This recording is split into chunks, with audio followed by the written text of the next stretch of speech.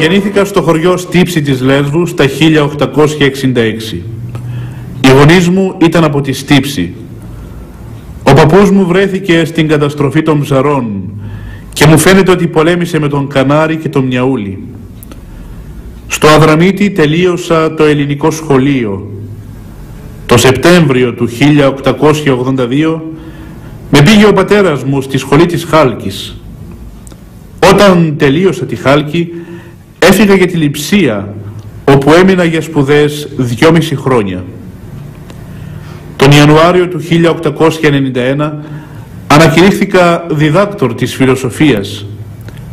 Στη Βόνη παρακολούθησα μαθήματα θεολογικά, δογματικά και απολογητικά. Επέστρεψα στην Κωνσταντινούπολη γιατί διορίστηκα καθηγητής στη σχολή της Χάλκης. Το 1897 εψηφίστηκα χωροεπίσκοπος του Πέραν. Το 1900 ο Πατριάρχης Ιωακήμ Τρίτος με έστειλε Μητροπολίτη στην Καστοριά. Αγάπησα με πάθος τη Μακεδονία.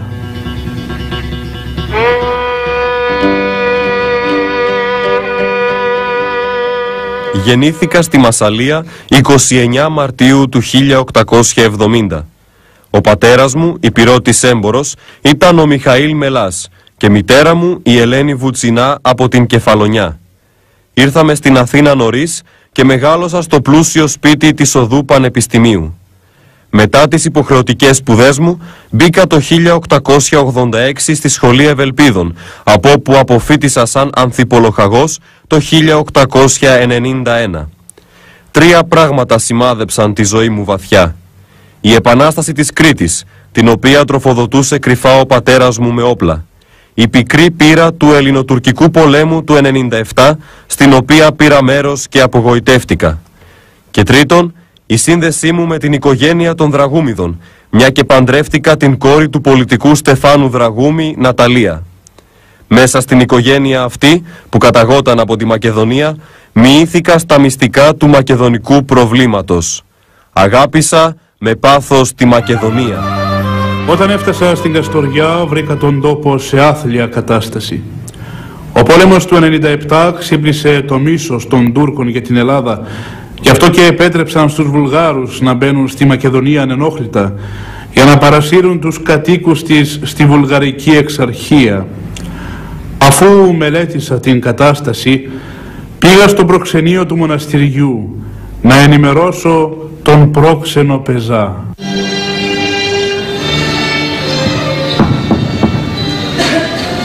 Σεβασμιότατε,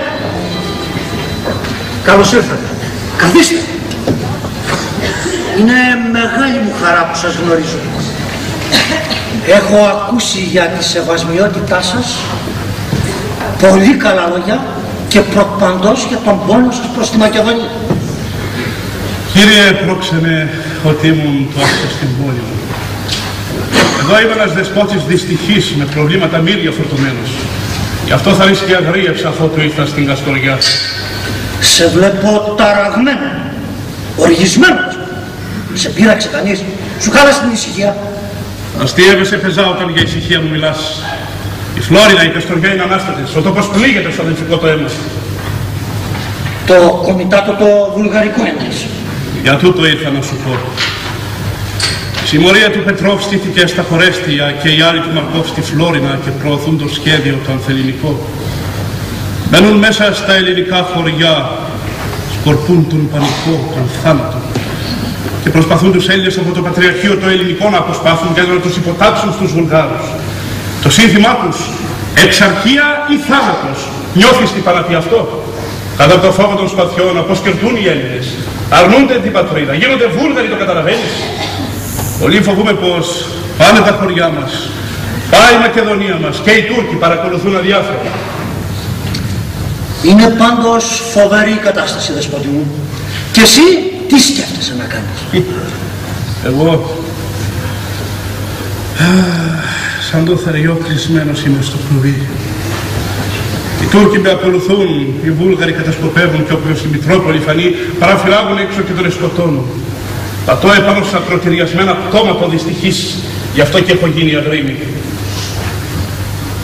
Παντού τα ίδια είναι δεσπότη μου. Βλέπεις, εμείς τα συνηθίσαμε. Ναι, αλλά δεν ήρθα εδώ αγαπητέ μου, τη μήτρα μου να χαίρομαι, να καμαρώνουμε την μπαταρίτσα. Ήρθα να σφίξω μέσα στην παλάμη μου τούτο το χώμα το μαρτυρικό της Μακεδονίας για να μην μου το πάρουν και μου το βελώσουν άλλοι. Με τούτο εδώ το χέρι που το δισκοπότερο κρατά και το πιστόλι θα κρατήσω για να φυλάξω τούτο εδώ το χώμα ελληνικό. Για τούτο ήρθα και σε σένα. Το χέρι μου να απλώσω. Τι λες, πού να απευθυνθώ, κάποια βοήθεια να ζητήσω. Δύσκολα τα πράγματα, δεσπότη μου. Κάνε μια έκθεση και στείλε στην κυβέρνηση. Ίσως μπορεί να σε συνδράμει. Δεν χάνεις και Και έκαμα την έκθεση και την έστειλε ο ίδιος ο πρόξενος στο Υπουργείο. Σε αυτήν τους υποδείκνυα ότι ήταν αδύνατο να κρατηθεί ο αγώνας στη Μακεδονία χωρίς ελληνικά σώματα. Σε λίγες εβδομάδες ξανασυνάντησα τον Πεζά.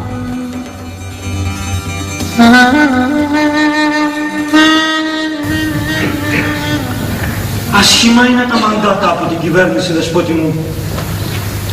Όχι μόνο βοήθεια δεν θα στείλουν, αλλά μας εφιστούν την προσοχή μην κάνουμε κακό αντί καλός ανθρώπου.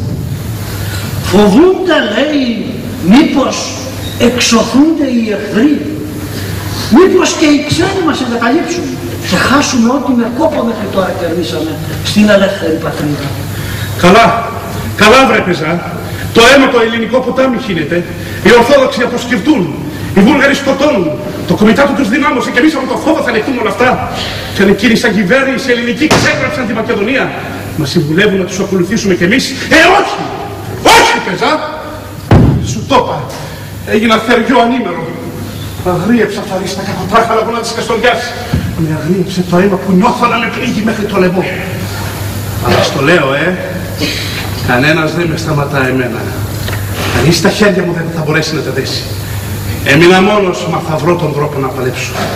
Αλλιώς χάνεται η Μακεδονία μας. Ησύχασα δεσπότη μου, κατανοώ τον πόνο σου και την οργή. Μαζί σου είμαι κι εγώ.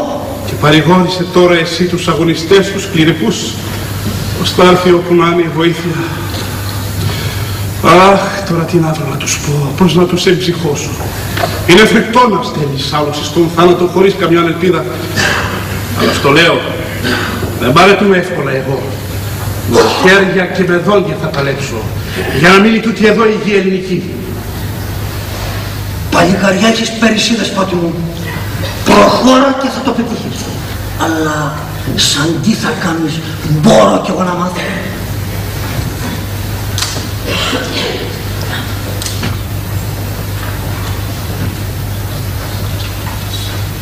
Άστο.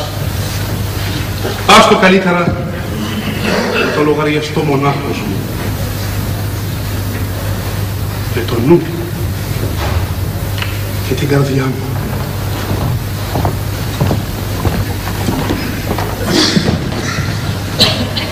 Κάποτε οι άνθρωποι ψώνονται και αναβαίνουν τόσο ψηλά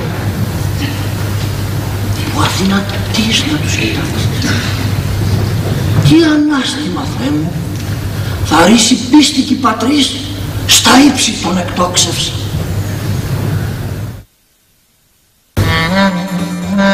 Γύρισα απελπισμένος στην Καστοριά και αποφάσισα να ενεργήσω όπως μπορούσα μόνος μου. Τότε σκέφτηκα ένα πράγμα άλλο. Αφού δεν είχα να περιμένω βοήθεια από την Ελλάδα, έπρεπε να δοκιμάσω να αποσπάσω κανένα βουλγαρόφωνο οπλαρχηγό για να τον μεταστρέψω να αγωνιστεί για την Ελλάδα. Συναντήθηκα με τον Κότα από τη Ρούλια στο Τύρνοβο.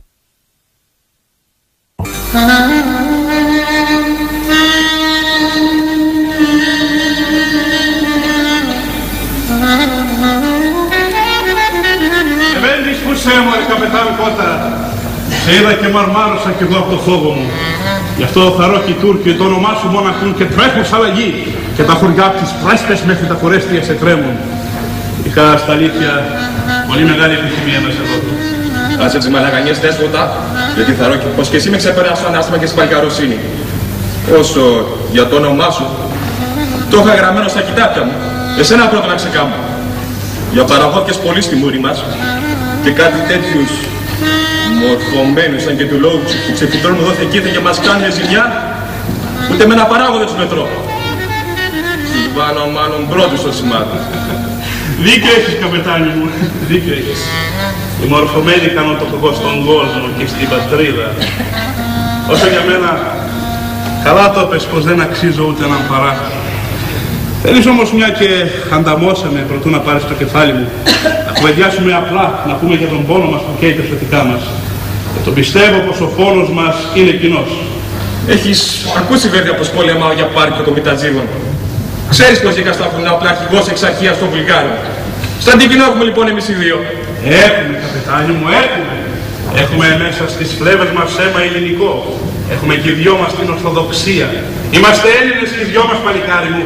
Όσο κι αν βαθιά μες στην καρδιά σου όλα αυτά τα έχεις καταπονιάσει. Άκου να σου πω, όσο και αν προσπαθείς να αξίσεις παλιές φυγές, σου λέω θα το κάνεις άδικα.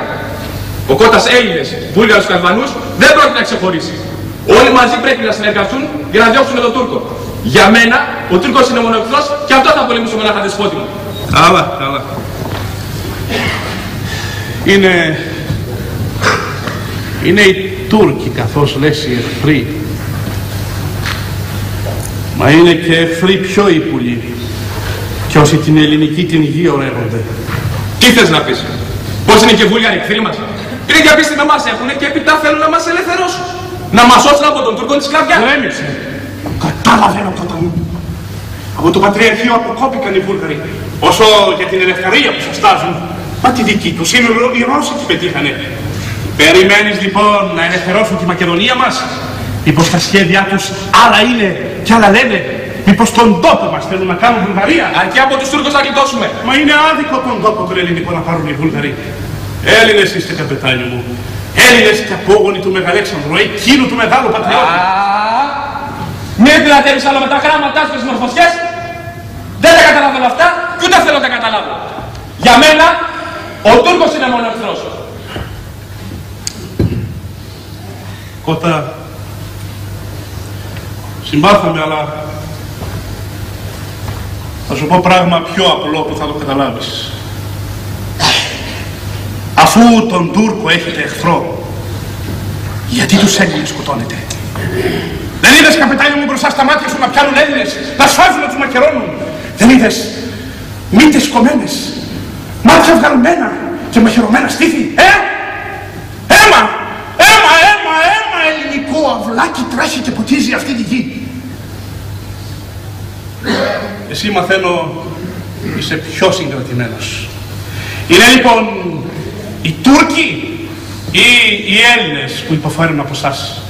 Για την ελευθεριά αγωνίζεστε ή για να ξεκληρίσετε τους Έλληνες από τη Μακεδονία; Ναι, είδα πολλά και έκανα. Και είναι η πρώτη φορά που σκέφτομαι γιατί το κάνω αληθινά. Ένας ιερός σκοπός, ο σκοπός της ελευθεριάς, δεν κάνει κακουργήματα. Κατάλαβετε. Το καταλαβαίνω δεσποτά. Ο πόθος μας ξεσήκωσε της ελευθεριάς και κάπου ξεστρατήσαμε στα αλήθεια. Πήραν το όνειρό μας και το κάνανε σκοπό. Σκοπό σατανικό άνομο σχέδιο. Έλα λοιπόν μαζί για να δουλέψουμε. Να σταματήσουν τα εγκλήματα, να ησυχάσουν οι αθώοι, να μείνει αυτός ο τόπος μας ελληνικός. Πρώτος να είσαι κότα μου και τα χωριά μας να σώσεις από τους Τούρκους και τους Βουλγάρους, να σώσεις τη Μακεδονία μας. Και εγώ θα να σε στείλω στην ελεύθερη πατρίδα μας, τους βασιλείς μας να γνωρίσεις. Και τα παιδιά σου θα στα σπουδάσω εγώ. Και το μισθό σου θα στο δίνω εγώ, να συντηρείς τα παλικάρια. Αν και τους μορφωμένους δεν συμπαθώ δεσπότη μου, εσύ τη μαράκωσες στην καρδιά μου. Γι' αυτό στο εξής, μαζί θα πολεμήσουμε για την ελληνική Μακεδονία. Και έστειλα γρήγορα γρήγορα στην Αθήνα πρώτα τα παιδιά του Κότα και ύστερα τον ίδιο τον Κότα στο σπίτι του Μελά για να τον γνωρίσει από κοντά. Του έδωσα μάλιστα και μια θερμή συστατική επιστολή.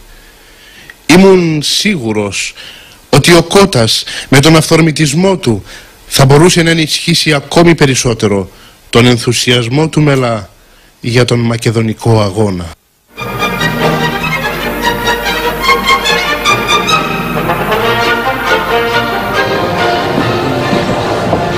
Παύλο, ο καπετάν Κώτας. Υπολογαγέ κύριε Μελά. Πριν ένα μήνα σου έστειλα τα δυο αγόρια του καπετάν Κότα για να σπουδάσουν. Τώρα σου στέλνω τον καπετάν Κώτα να τον συστήσεις στους Έλληνες βασιλείς και να τον γνωρίσεις κι εσύ. Είναι γενναίο παλικάρι ο Κώτας, ο φόβος και ο τρόμος των Τούρκων και των Κομιτατζίδων. Αγαπάει βαθιά την πατρίδα και ορκίστηκε να την υπηρετήσει. Αγαπητέ Μελά, μαθαίνω τον καημό σου για τη Μακεδονία, φρόντισε να κινήσεις, αν μπορείς και την κυβέρνηση. Εγώ σε αναμένω από τους πρώτους στη Μακεδονία. Καλή αντάμωση, Γερμανός Καραβαγγέλης. Λοιπόν, καπετάν Κώτα, καλώς όρισες στην Αθήνα και εδώ στο σπιτικό μας. Από εδώ είναι η Ναταλία, η γυναίκα μου. Και ο Ιώνας, ο αδελφός της. Κάτσε λοιπόν, ανυπομονώ να ακούσω νέα από τη Μακεδονία. Είναι από περιέργεια τι πονάς εσένας Αθηναίος στη Μακεδονία μας. Και η περιέργεια θα ήταν φυσική. Μα εγώ, καπετάν Κώτα, έχω τη Μακεδονία μες στις φλέβες μου. Γι' αυτό και να φτάνω να μάθω νέα. Ίσως δεν ξέρεις, καπετάνιο μου, πως ο Παύλος μπήκε σε σπίτι μακεδονικό. Ο Στέφανος Δραγούμης, ο πατέρας μου, είναι από τη Μακεδονία. Δίκιο έχει ο καπετάνιος έτσι να μιλά. Πράγματι η Αθήνα ξέχασε πως υπάρχει και Μακεδονία. Έτσι ντόπρα και βουνίσια να τα λες παρακαλώ. Με στην απλότητα υπάρχει αλήθεια. Πες μας λοιπόν, είναι ο Μητροπολίτης Γερμανός τόσο δραστήριος και γενναίος σου ακούγεται; Και κάτι περισσότερο. Αφού τόλμησε να συναντηθεί μαζί μου. Είναι παλικάρι, ριψοκίνδος, αν και μορφωμένος. Γιατί ήταν τόσο επικίνδυνη η συνάντηση. Έπαιρνα και κεφάλια εγώ. Και πάνω απ' όλα είχα κάνει όρκο να πάρω το δικό του. Γιατί, καπετάν Κώτα, τι σου έκανε; Στο κομιτάτο έκανε ζημιά. Γύριζε μέρα νύχτα στα χωριά και ξεσήκωνε τους χωριάτες. Λεφτά να μην δίνει στους Βουλγάρους, στις εκκλησιές να μην πατάνε το Βουλγάρο. Και τον ακούνε καπετάνιο μου. Σε να ήταν θεός. Αφού και εμένα μην κατάφερε. Α, έχει δύναμη πολύ αυτός αφέντηλο. Νομίζεις πως γεννήθηκε εκεί στη Μακεδονία και την πονάει σαν πατρίδα του. Και δεν φοβάται έτσι που ενεργεί. Εγώ φοβάμαι περισσότερο γι' αυτό. Αλλά εκείνος όχι. Βγάζει το καλυμάφι του, μαζεύει και τα ράσα, κρύβει στο σίδο στην κουμπούρα του και όλο γυρνάει, τρέχει. Μπορεί όμως ένας κούκος να φέρει την άνοιξη; Λέει πως θα βοηθήσετε κι εσείς. Σε σένα έχει πολύ μεγάλη εμπιστοσύνη λόχαγε. Αν δεν σε δυσκολεύω, πες μου πώς νιώθεις καπετάνιο μου εδώ στην ελεύθερη πατρίδα; Νιώθω... Νιώθω περισσότερο Έλληνας και μεγαλύτερο πόθο να βοηθήσω να παραμείνει και Μακεδονία ελληνική. Καπετάν Κώτα μαζί σου είμαι κι εγώ. Πόσο χαίρομαι και πόσο συγκινούμε στο αντικρισμά σου πλατηγέ. Έτοιμος να θυσιαστείς για τη Μακεδονία. Μα για να μείνει το γη ελληνική θέλουμε τη βοήθειά σας, Λοφαγέ. Μακάρι τώρα δα εγώ σε σένα να υποταχτώ. Θα λέμε μαζί εκεί επάνω στα μαρτυρικά βουνά. Με τον Καραβαγγέλη Αντάμα να πείσουμε όλους τους χωρικούς με το καλό ή με το όπλο να παραμείνουν Έλληνες. Ιωνα, Νάτα, εγώ φεύγω. Πάντα ορμητικός και βιαστικός είσαι, Λοχαγέ. Ζήτω η Μακεδονία μας. Ζήτω και ο καπετάν Κώτας. Ζήτω και ο Καραβαγγέλης ο αγωνιστής.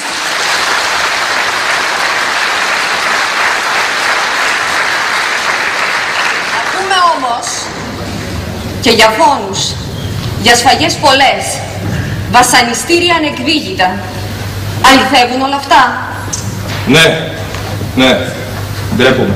Έλα τώρα καπετάνιο. Όταν έγινε χθες να μην το συζητάμε; Σήμερα αρχίζουμε ξανά έτσι δεν είναι κότα. Πανώ σε μένα περίμενε με, σου το υπόσχομαι. Εκεί επάνω θα ξανανταμώσουμε να πολεμήσουμε μαζί για τη Μακεδονία. Νάτα, περιποιηθεί το καπετάνιο μας. Μωρέ είσαι όπως το λέει ο Καραβαγγέλης. Είσαι τρελός για τη Μακεδονία. Μακάρι να ήταν δυο τρελοί μελάδες στην Αθήνα και θα ήταν η Μακεδονία ελεύθερη. Στις αρχές του 1901 έκανα μια μεγάλη περιοδία στα σλαβόφωνα χωριά των Κορεστίων. Τα Χριστούγεννα βρέθηκα στη Ζαγορίτσανη. Πώς είναι; Δεσπότης.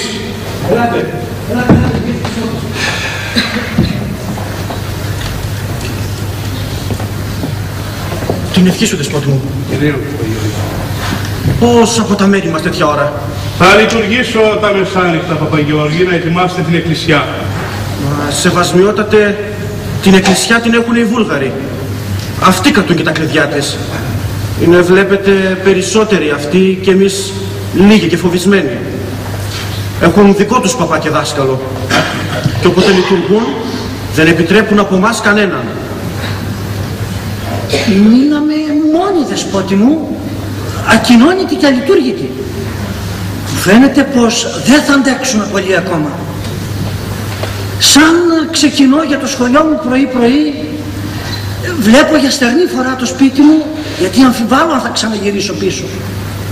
Με απειλούν, με φοβερίζουν δέσποτα, αν συνεχίσω να διδάσκω ελληνικά. Λένε τη γλώσσα θα μου κόψουν, αν ξαναπώ πως τούτη γη είναι ελληνική. Φοβάμαι, μα κάλιο τη γλώσσα να μου κόψουν παρά να πω πως η Μακεδονία μας δεν είναι ελληνική. Δάσκαλε, μπράβο, κράτα, μην αποθαρρύνεσαι. Έστω και ξαναπέσω στα παιδιά πως τούτη εδώ η γη είναι του Μεγαλέξανδρου, είναι του Αριστοτέλη. Γιατί σαν κλείσουν και τα δικά σας στόματα, αλλή στον τόπο μας, αλλή και στην πατρίδα. Ε, βλέπω και εσάς, μέσα στη φωτιά να μπαίνετε, να προχωράτε άθοβα στα ναρκοπαίδια. Γι' αυτό και δέχομαι το λόγο σας. Αλλά ομολογώ, φοβάμαι. Παπαγιώρη, είναι να φέρουν τα κλειδιά οι Βουλγαροί. Θέλω να λειτουργήσω. Είναι, ξέρετε, ο Μητροβλάχος και ο Τσακαλάροφ εδώ σεβασμιότατε. Ξέρετε τι σημαίνει αυτό; Θεριά είναι της κόλασης. Ο φόβος και ο τρόμος των Ελλήνων. Γι' αυτό κλείσαν τα σπίτια τα ελληνικά νωρίς. Για μας Χριστούγεννα δεν ξημερώνουν. Γιατί μωρέ ο φόβος τόσο εύκολα σας νίκησε, ε! Τούτο το γένος δεν νίκεται εύκολα. Άντεξε χρόνια και χρόνια στην δουλειά και τώρα θα παραδοθεί στο Βούλγαρο. Και εμείς γιατί είμαστε εδώ, Πατέρ Γεώργιε, έτσι με σταυρωμένα χέρια θα καθίσουμε. Θα λειτουργήσουν και θα έρθει και ο Μητροβλάχος για να πάρει αντίδωρο. Μην το τραβάς περίσσια το σκηνή, δεσπότα μου. Και σε χρειάζεται η Μακεδονία. Μητροβλάχος πάει να πει θεριό που ωραίγεται αρχιερέως αίμα.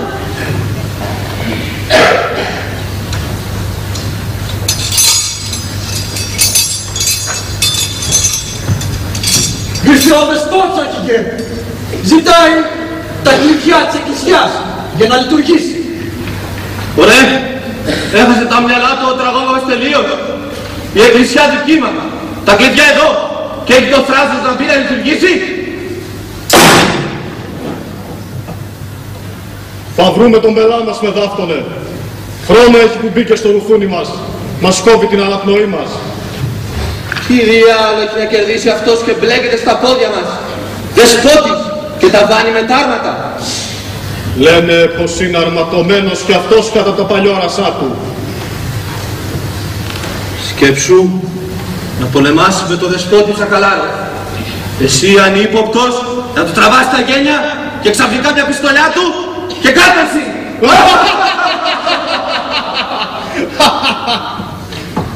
Εμένα δεν με φοβίζει η αρματοσιά. Άλλο είναι που με καίει. Να πούμε τούτες τις αποκοτιές ξυπνούν τα ζάβαλα οι ντόπιοι και γίνονται ολοένα μαζί μας εχθρικοί. Τους λέει ιστορίες για τους παλιούς, για τα αρχαία, τα μνημεία και θέλει σώνει και καλά να τους αλλάξει γνώμη πως δεν είναι Μακεδόνες αλλά Έλληνες. Για κοίτα πως μας ονοματίζει κιόλας σχισματικούς. Μα χριστιανοί δεν είμαστε κι εμείς. Ξέρει καλά τι λέει ο Καραβαγγέλης Μητροβλάθος. Γι' αυτό και τον φοβάμαι. Φοβάμαι τη γραμματοσύνη του, φοβάμαι και την πατερίτσα. Μα πιο πολύ φοβάμαι τη φλόγα που έχει στην καρδιά.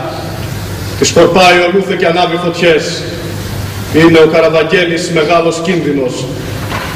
Και λοιπόν, τι κάθεσαι. Εδώ είναι μπρος προχώρα. Πήγαινε και συγύρισε τον όπως θέλει. Κάνε το κούπαλια κρασί το καύκαλό του. Δεν είσαι δα αμάθευτος αυτό. Δεν είναι εύκολα όλα όπως τα λες. Ίσως κάποια άλλη φορά το ξανασυναντήσω. Τώρα δεν είναι ο κατάλληλος καιρός. Πήγαινε πες του πως κλειδιά δεν δίνουμε. Εμείς θα λειτουργήσουμε απόψε.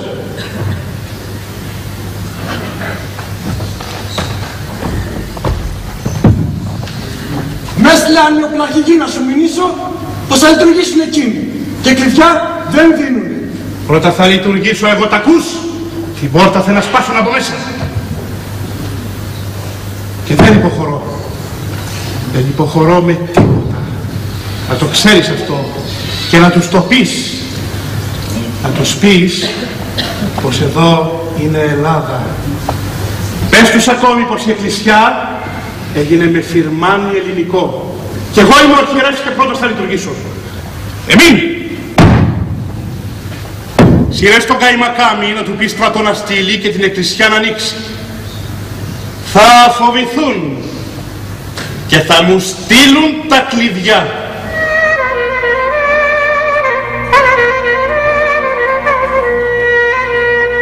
Λειτουργήσα εκείνο το βράδυ έχοντας το περίστροφο στο στήθος μου.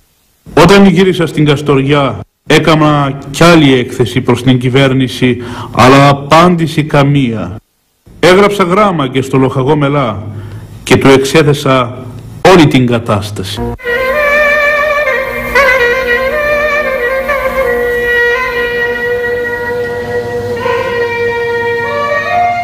Μου φαίνεται οι Βούλγαροι πολύ ξεφτάρεψαν κάτω από τον ίσιο των Τούρκων στη Μακεδονία. Δεν θα απομείνει τίποτα το ελληνικό εκεί επάνω Ιώνα. Εμείς εδώ τα πολυβόλα μας γυαλίζουμε. Παύλο, μην είσαι τόσο ανυπόμονος. Είναι νοπές ακόμα οι πληγές από έναν αποτυχημένο πόλεμο. Θα και πάγωσε το αίμα της πατρίδας και δεν αντέχει άλλους πια ξεσηκωμούς, ούτε έχει μάτια να δει τα σκλαβωμένα κόμματα. Και τι θα γίνει η Μακεδονία μας, που μπαίνουν στα χωριά οι κομίτες και στο όνομα της Λευτεριάς σφάζουν δασκάλους, σφάζουν κληρικούς, σφάζουν τους προεστούς Σαράδα. Όταν ξυπνήσουμε εμείς, τι θα έχει μείνει εκεί επάνω; Πήρα κι άλλο γράμμα τον Καραβαγγέλη. Παρακαλεί, οικετεύει. Παρακαλώ την πατριωτική σας φιλοτιμία, την αγάπη σας για τη Μακεδονία, βοηθήστε μας. Ο τόπος πνίγεται στο αίμα. Γερμανός Καραβαγγέλης.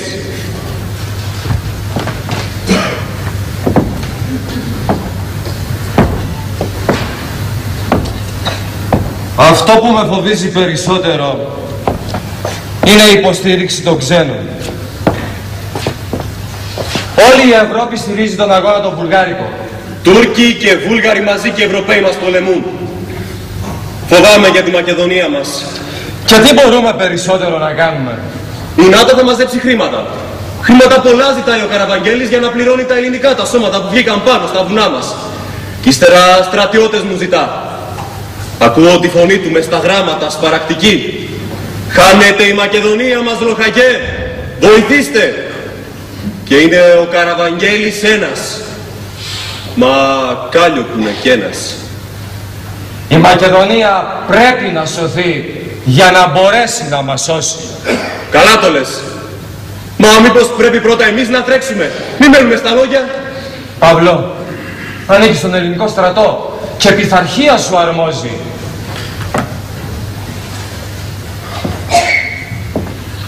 Δεν ξέρω γιατί σαπίζω εδώ όταν η μισή Ελλάδα είναι σκλάβα. Θα ήθελα να ήμουν ελεύθερος, πρώτος να τρέξω στη Μακεδονία.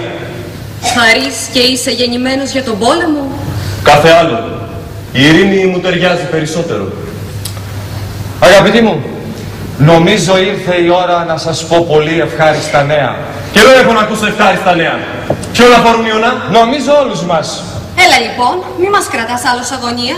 Δεν βλέπεις πως ο Παύλος υποφέρει. Λοιπόν αγαπητοί μου, βρίσκομαι στην ευχάριστη θέση να σας ανακοινώσω ότι διορίστηκα υποπρόξενος στο μοναστήρι και όπως καταλαβαίνετε σύντομα θα πρέπει να αναχωρήσω για τη Μακεδονία. Τυχερέ Ιωνα, ώστε μας φέρεις για τη Μακεδονία, ε; Να ξέρεις πόσο σε ζηλεύω και πόσο θα ήθελα να βρίσκομαι εγώ στη θέση σου. Σε καταλαβαίνω Παύλο, νιώθεις πολύ στο δόκανο. Μην το νομίζεις όμως όμως.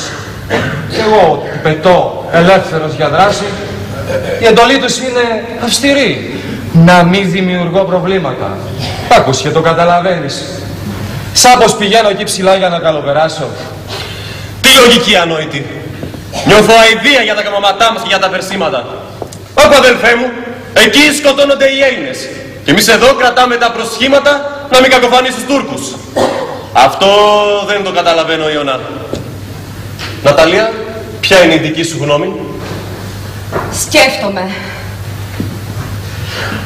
Εμείς είμαστε οι τρελοί ή όλος ο άλλος κόσμος. Δεν είναι τρέλα που ενώ ζούμε ελεύθεροι στη σκλαβωμένη τη Μακεδονία περπατά ο νους μας. Μην είναι τρέλα δική σου Παύλο μου, που ενώ ζεις μες στα αξιώματα, στα πλούτη. Θέλεις να πας εκεί, για να παλέψεις με τον χάροντα. Κι αν όλα αυτά που ζούμε εμείς εδώ είναι φρόνηση, τότε όλοι οι άλλοι που καλοπερνούν ανέμελοι είναι τρελοί και δεν το ξέρουν.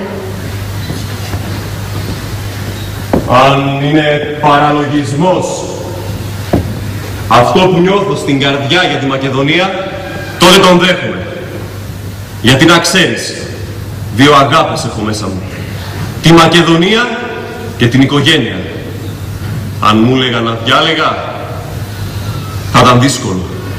Έλα τώρα, μην είσαι υπερβολικά τρελός. Συγκράτησε τους ενθουσιασμούς σου. Πείτε τα με τον Ιωνά. Φρόντισε Ιωνα, να ανέβω κι εγώ το γρηγορότερο επάνω στη Μακεδονία. Εσύ μπορείς σαν πρόξενος να τους αλλάξεις γνώμη. Στείλε τους μια αναφορά. Εσένα θα σε πιστέψουνε. Ενώ εκείνον τον Μητροπολίτη ήρωα, κανένας δεν τον υπολογίζει. Παύλο, θα κάνω ό,τι μπορώ. Εξάλλου, μου χρειάζεται η φλογερή καρδιά σου. Μαζί θα κάνουμε πολλά. Είσαι ο πιο καλός πατριώτης που έχει ακόμα η Ελλάδα.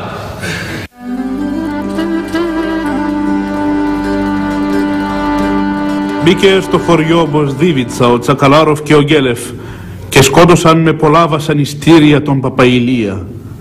Πανικός στην Ήπεθρο. Έπρεπε να πλησιάσω και τον Γκέλεφ, μήπως και τον φέρω με το μέρος μας.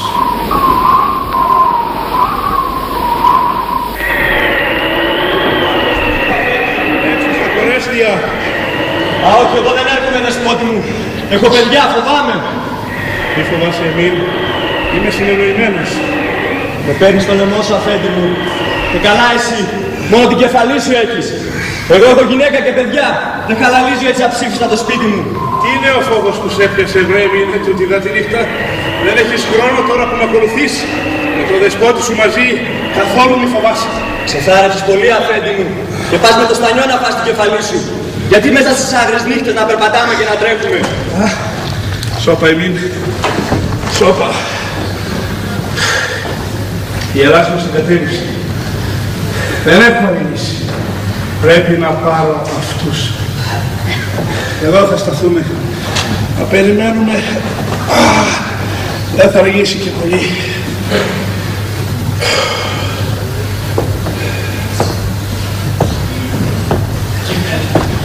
Βρε, βρε, βρε, βρε, βρε, βρε, βρε.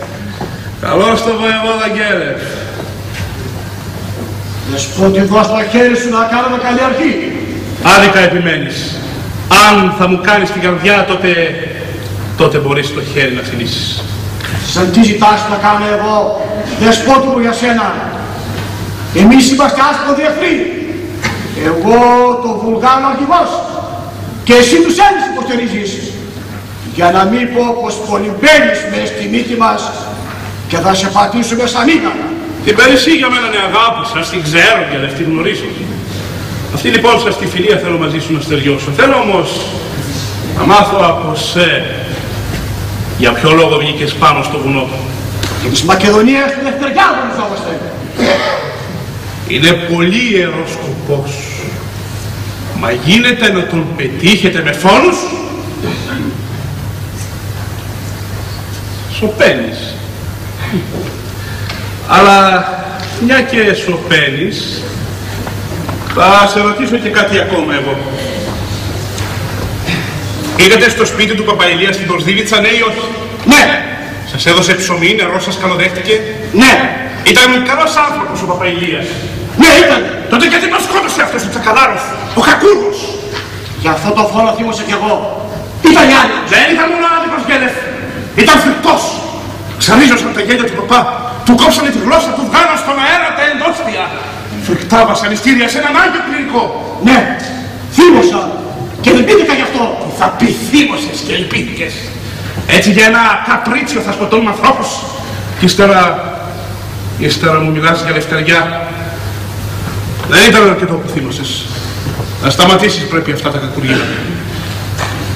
Έπειτα, έπειτα ξέρω κι άλλα για τον Τσακαλάροφ. Δύο άνθρωποι ανεβαίνουν πάνω στο βουνό και πολεμούν σαν να είναι αδέρφια. Εσύ Γιάννευκα Τσακαλάροφ! Έπρεπε η γυναίκα σου να του είναι ιερή. Κι όμως έμαθα πως, πως κυνηγάει τη γυναίκα σου. Θέλει να σου την κλέψει. Μα είναι πράγματα αυτά, πες μου σε παρακαλώ. Είναι μεγάλα τα κακά που έρχονται από τη Βουλγαρία. Φόνοι, αλλά και ξετσιποσιές. Ναι, με πλήγωσε πάρα πολύ ο σύντροφος. Αυτό πάει να πει πως δεν αγωνιζόσατε για τις αξίες. Έλα λοιπόν, και μόνο τότε να κάνεις επανάσταση. Σαν οι κορυφογραμμές γεμίσουν με Ελληνόπουλα για να ελευθερώσουν τη Μακεδονία μας. Έλα μαζί μας να παλέψεις, να εκδικηθείς. Υπόγραψε αν θέλεις και τούτο το χαρτί. Μια πιστοποίηση ότι για την Ελλάδα θα εργαστείς.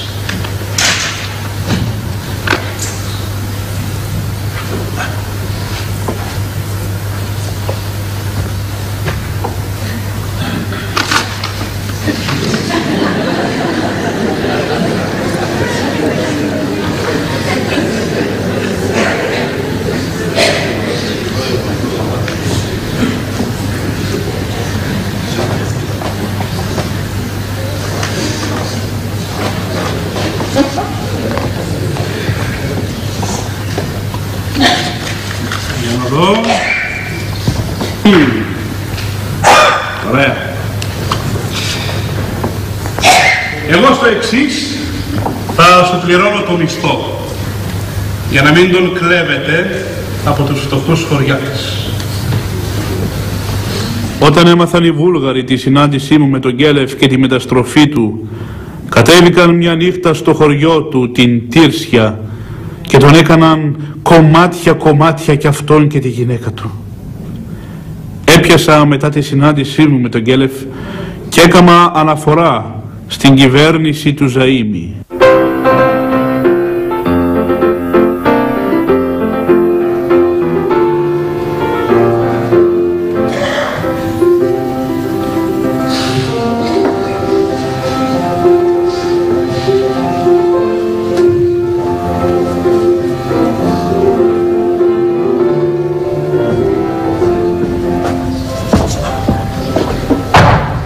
Κύριε Πρωθυπουργέ, τα σέβη μου. Με ζητήσατε;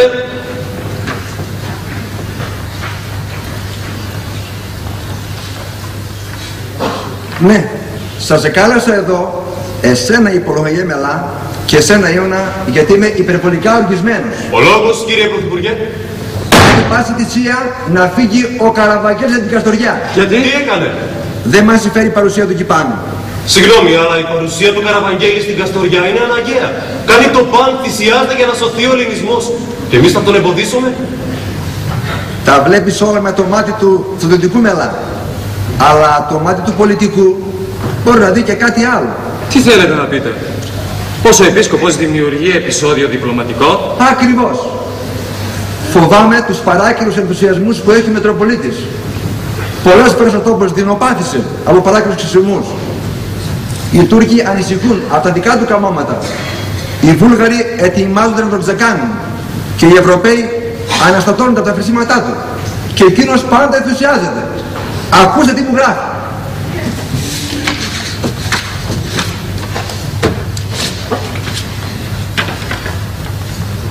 Κατάφερα να πάρω με το μέρος μου και τον τρομερό Γκέλεφ όπως τον Κότα. Αυτοί αγωνίζονται τώρα για μας. Σιγά σιγά θα διατάξουν να χτυπήσουν σε κάθε χωριό Βουλγάρους αρχηγούς. Και έτσι θα γίνει όλος ο τόπος δικός μας ελληνικός. Ακούς τι θα διατάξει; Να βγάλουμε αμέσως τον Καραβικέλη την Καστοριά. Θα μας κάνει μεγάλο κακό. Θα μας βάλει σε πελάτες. Με τους Τούρκους, τους Βουλγάρους στην Ευρώπη. Και δεν έχουμε την εντοχή. Ή ο νομίζω το καταλαβαίνεις. Κύριε Πρωθυπουργέ, εσείς διατάσσετε και δεν καταλαβαίνω για ποιο λόγο μας καλέσετε. Το σπίτι σας είναι η καρδιά του μακεδονικού αγώνα. Αλλά και με τον Καραβαγγέλη και εσείς έχετε. Λοιπόν, πριν κάνω οτιδήποτε, ήθελα να σας ενημερώσω. Αλλά να ακούσω και τη γνώμη σας. Η γνώμη μας είναι σαφής. Μπορούσαμε να έχουμε στη Μακεδονία άλλον έναν Καραβαγγέλη. Θα ήταν καταπληκτικό. Ποιος από εμάς δεν ξοκινδυνεύει νύχτα μέρα για τον τόπο, για τον τόπο μας; Μπορούσα εγώ, εσείς, ο Ιώνας ή κάποιος άλλος Αθηναίος. Το κάνει όμως ο γενναίος ιεράρχης. Και εμείς αντί να τον στηρίξουμε, το στόμα του θα κλείσουμε και θα τον διώξουμε μακριά. Προς Θεού κύριε Πρωθυπουργέ, να μην εγκληματίσουμε ικτρά προς τη Μακεδονία. Φτάνει που την εγκαταλείψαμε τόσο καιρό αβοήθητη και θα τη στερήσουμε και το μεγάλο της προστάτη τώρα. Δεν σε παρακολουθώ στη σκέψη σου Πολοχαγέ. Ωστόσο, μέχρι να τον απομακρύνουμε, ειδοποιήστε το να είναι φρόνιμος. Δεν βλάπτει. Αυτό μπορούμε να το κάνουμε.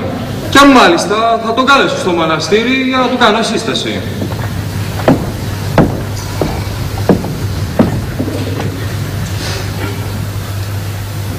Το ελπίζω.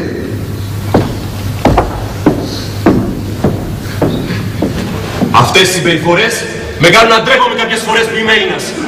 Ακούς αδερφές μου, ζήτημα διπλωματικό γιατί; Γιατί λειτουργείς στις εκκλησίες, γιατί σώσει τον κόσμο από το μαχαίρι, γιατί πονάει τον τόπο; Ακούς λογική, Ιωνα. Έλα, έλα, ηρέμησε. Τίποτα από όλα αυτά δεν πρόκειται να γίνει. Βλέπεις, δεν έχουν όλοι τη δική σου λογική και τη δική σου τη λαχτάρα. Ιωνα, μαζί θα κυλήσουμε σαν χήμαροι, παρασυρμένοι από την πιο τρανή αγάπη, την πατρίδα. Και ενώ οι δικοί μας αδρανούσαν, οι Βούλγαροι δραστηριοποιούνταν ακόμη περισσότερο. Ήρθε μια μέρα στη Μητρόπολη ο Παπαδημήτρης από το Στρέμπενο. Όταν βγήκε, τον έπιασαν και τον εσκότωσαν με φοβερά βασανιστήρια. Το έμαθα και έκλαψα πολύ. Αλλά χωρίς να χάσω καιρό κάλεσα στη Μητρόπολη το γιο του, παιδί 20 χρόνων, τον ανεψιό του Βαγγέλη που αγωνιζόταν για το βουλγάρικο κομιτάτο και την χαροκαμένη πρεσβυτέρα. Πρεσβυτέρα, σε κάλεσα τούτες τις μέρες τους πένθου σου και να με συμπαθάς για να σε γνωρίσω και να σου πω πως ο Παπαδημήτρης ήταν ένα παλικάρι, ένας μάρτυρας της Μακεδονίας. Αφέντη μου, πού θα πάει αυτή η συμφορά που έβρε αυτόν τον τόπο; Το κάθε σπίτι κλαίει ένα νεκρό.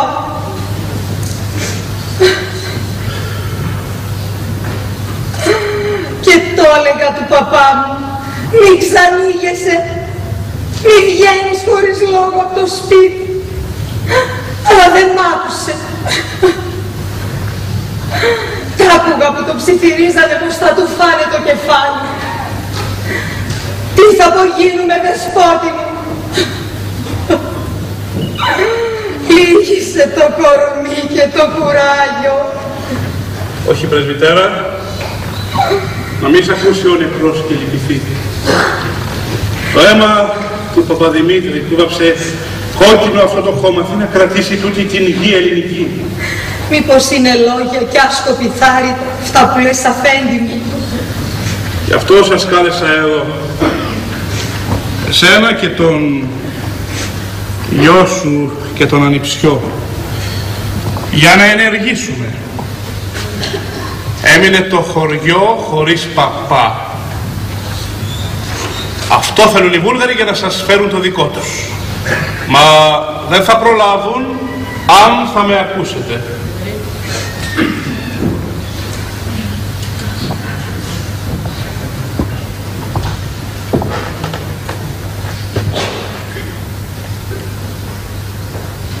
Δώσ' μου κυρά το γιο σου τώρα, να, να τον χειροτονίσω στο χωριό να τον βάλω παπά. Όχι δεσπότη μου. Μη μου προσθέτεις την πληγή και άλλη πληγή. Δεν παραδίνω το παιδί μου για άλλη μια φορά στο θάνατο. Δίκιο έχεις. Στάζουν ακόμη αίμα τα χέρια σου από τα κομμάτια του παπά σου. Θέλεις όμως να αφήσουμε το χωριό χωρίς την κεφαλή να μας το πάρουν οι Βούλγαροι; Αυτό δεν θα ο Παπαδημήτρης. Αχ, με τούτα τα λόγια σου με τυραννάς, δεσπότη μου. Δεν θέλω το παιδί μου πετσοκομμένο να το δω, όπως τον κύριο του είδα. Μα ρώτησε καλύτερα το παιδί. Ας κάνει ό,τι καταλαβαίνει.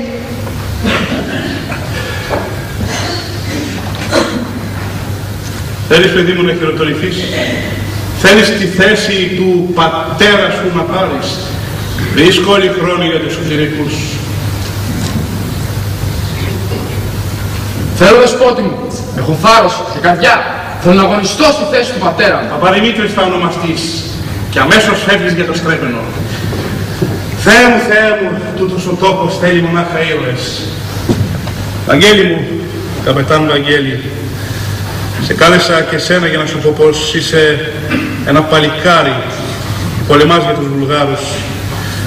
Μα αν πόνεσες παιδί μου έστω και μια σταλιά για τον άδικο χαμό του θείου σου του Παπαδημήτρη άφησε παιδί μου τα άρματα του εχθρού και πάρε τα δικά μας να προστατεύσεις το χωριό από σκοτωμούς και φόνους. Είμαι δεμένος με όρκο. Στο κομιτάτο το Βουλγάρικα, δεσπότη μου. Τι όρκος είναι πάλι αυτός; Ήρθαν μια νύχτα στο χωριό δύο καπιταλαίοι Βούλγαροι. Και μέσα στην εκκλησιά γονατιστούς μας όρκησαν στο κομιτάτο να δουλεύουμε.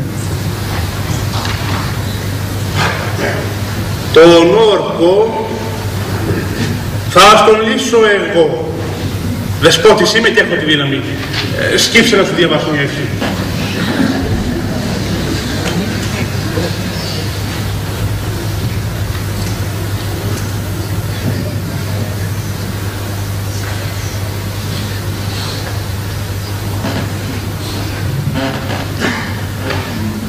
Πηγαίνετε τώρα όλοι μαζί στο στρέμπελο και αγωνιστείτε. Ευλογημένοι να είστε και πάντα Έλληνες.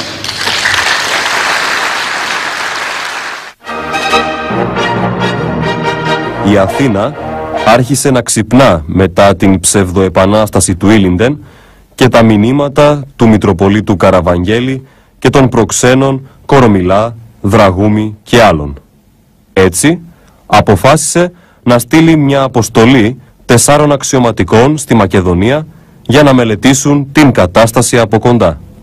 Οι αξιωματικοί ήταν Παύλος Μελάς, Κοντούλης, Παπούλας, Κολοκοτρώνης.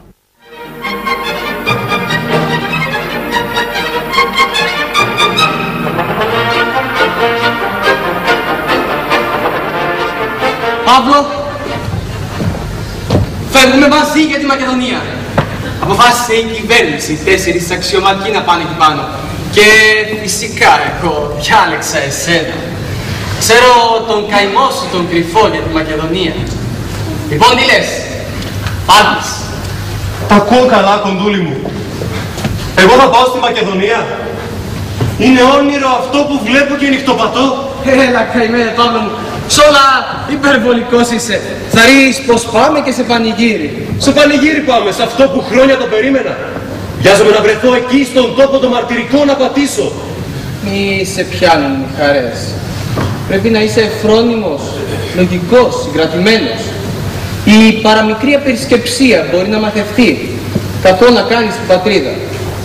Μόνο αν είσαι φρόνιμος σε παίρνω. Αλλιώς θα μείνεις. Θα αστείευεσαι, κοντούλη μου. Ωστόσο έχεις τον λόγο της τιμής σου. Ετοιμάσου λοιπόν. Αύριο κιόλας φεύγουμε. Λίγα λόγια θέλουν οι μεγάλες αποφάσεις.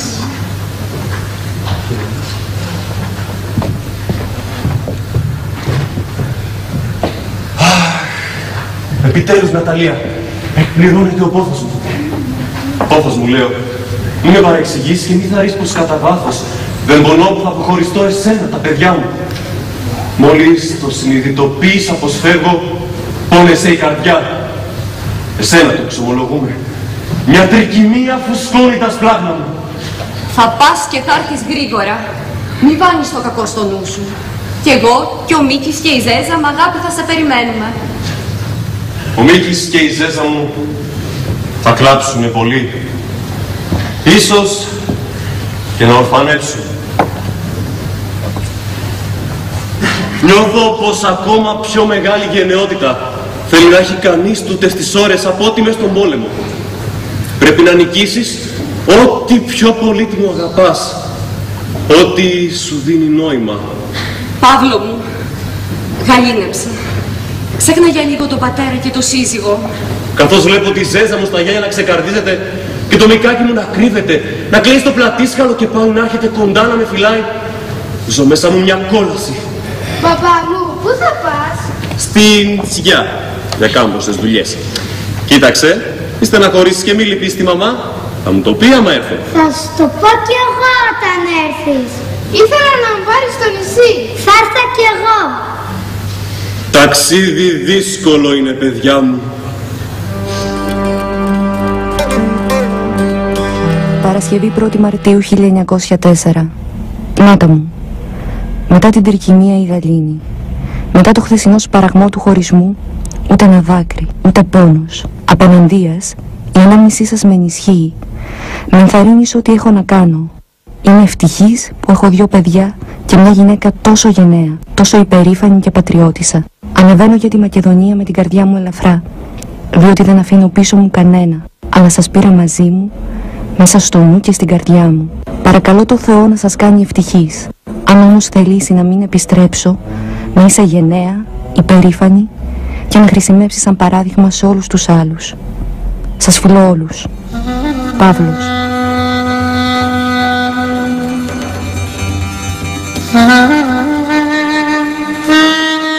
Από τη ζωηρή εθνική μας κίνηση στην Καστοριά ανησύχησε η Σόφια και οι κύκλοι της προώθησαν ένα συλλαλητήριο που ζητούσαν να με δολοφονήσουν.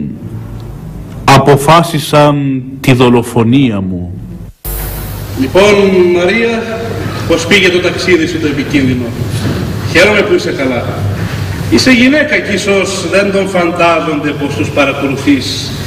Τι έχεις να μου πεις λοιπόν και επιγόντως ζήτησε συνάντηση; Ίσως να έφτασε αργά σε βασμιόδοτε. Κινδυνεύετε. Δεν υπήρξε εδώ και η μέρα που να μην κινδύνευα. Μα τώρα είναι σοβαρός ο κίνδυνος. Τι, σχεδιάζω να πεθάνω γρηγορότερα; Είναι κάτι απλό που το περίμενα. Δεν πρέπει να πεθάνετε σε βασμιόδοτε. Γι' αυτό ακούστε με. Ήμουν στη Σόφια και ουρλιάζαν τα πλήθη έξω από τη διοίκηση. Θάνατος! Θάνατος, Υπερβαγγέλη! Μέσα στο αφηνιασμένο πλήθος έσπερχνα και με έσπερχνα και ένιωθα πως έφυγαν τα δόντια τους να σας κατασπαράξουν. Θάνατος! Θάνατος, Υπερβαγγέλη! Θύμων, οργιζόμουν, να τρίχιαζα. Και ο συντρόπας, μέλος από την αγωνία. Και ξαφνικά τα πλήθη έβησαν. Τους έδωσαν επίσημα υπόσχεση που θα σας δολοφονήσουν γρήγορα. Πρέπει να φυλαχτείτε δεσποτά. Σας έχει ανάγκη να Ναι, πρέπει να φυλαχθώ, είναι χρέος. Και κάτι άλλο έμαθα. Μια συμμορία έχει αποσταλεί εδώ στην Καστοριά μου στόχο τη δολοφονία σας. Και έστειλαν έμαθα το γιο του Βλάχου, το Λούκα, το στόχο να πετύχει. Άρα ο Λούκας πρέπει να είναι κάπου εδώ γύρω. Ναι. Είναι τώρα δύο μέρες που ο Εμίλ βλέπει σε εκείνη τη γωνιά του δρόμου ένα άγνωστο και ύποπτο πρόσωπο. Ίσως και να είναι ο Λούκας, δεν τον ξέρω. Εμίλ, μπορείς να ρίξεις μια ματιά. Κι αν τον δεις, τον πιάσεις με το στανιό και να το φέρεις επάνω. Μαρία, παιδί μου, σε ευχαριστώ για τις πληροφορίες σου. Σε ευχαριστώ για την προσπάθεια που κάνεις και εσύ με τον δικό σου τρόπο. Πήγαινε τώρα. Ίσως να είναι επικίνδυνο να μείνεις περισσότερο. Την ευχή σας. Και να προσέχετε. Καλώς το παλικάρι μου. Λούκα, καλό σε λένε, ε. Πώς ξέρεις το όνομά μου, Δέσποτα. Ε, δεν είναι εδώ και τόσο δύσκολο. Βλέπεις, βλέπεις εμείς οι κληρικοί τα ξέρουμε όλα. Για πες μου λοιπόν, Λούκα παλικάρι μου, η περίμενες τόσα πολλά μερόνυχτα εκεί στον τοίχο ακουμπισμένος; Το όνομά μου σαν ξέρεις Δέσποτα, ξέρεις και το σκοπό μου. Αυτό μόνο δεν μπόρεσα να προφητεύσω. Σαν πως μου φαίνεται πως πολύ με συμπαθάς. Ήθελες να με συναντήσεις. Έτσι είναι, Λούκα παλικάρι μου. Έτσι είναι. Μιλάς σε κάτι Για ποιο σκοπό έχεις το φράκτη ξεροστάλιαζες. Ξέρεις, έχουμε και εμείς κουμπούρες και όπλα. Είπα, το δέσποτα ήθελα. Είναι παλικάρι, τόσο νέο, έμορφο, θαραλέο έλεγα... Πώς να τον ξεκάνω, ε; Α, όχι, μην αλλάζεις τα λόγια μου.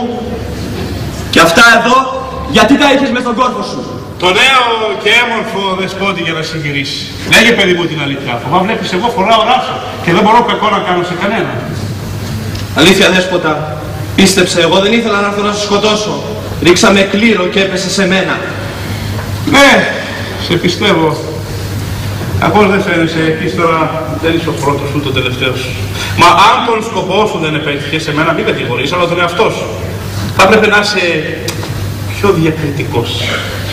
Εμείς στον καημακάμι να τον πας.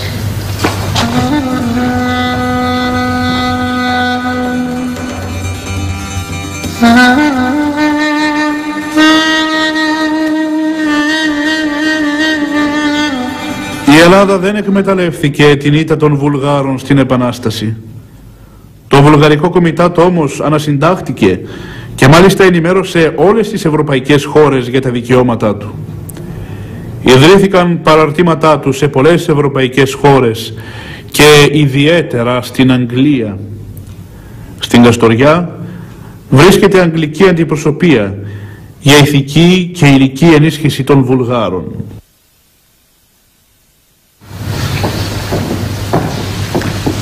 Σεβασμιότατε, η κυρία Τόνσον και εγώ ανταποκρίτρια των Times του Λονδίνου.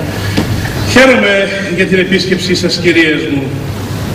Καθίστε. Πριν μου πείτε εσείς τον λόγο της επίσκεψης, να μου επιτρέψετε να εκφράσω εγώ πρώτος το δίκαιο παράπονό μου. Έχω στα χέρια μου φύλλα πολλά των Times του Λονδίνου που χύνουν δηλητήριο και γράφουν ψέματα πολλά για τον Καραβαγγέλη. Ποιος είναι ο λόγος; Και απευθύνομαι σε εσάς που είστε η ανταποκρίτρια. Τι έκανε ο Καραβαγγέλης; Ο τύπος ο Βουλγάρικος έχει κάθε λόγο να με βρίζει, αλλά η Αγγλία, η Ιταλία, η Ευρώπη, γιατί; Η Ευρώπη σεβασμιότατε υποστηρίζει κάθε κίνηση που αντιστρατεύεται στον Τούρκο.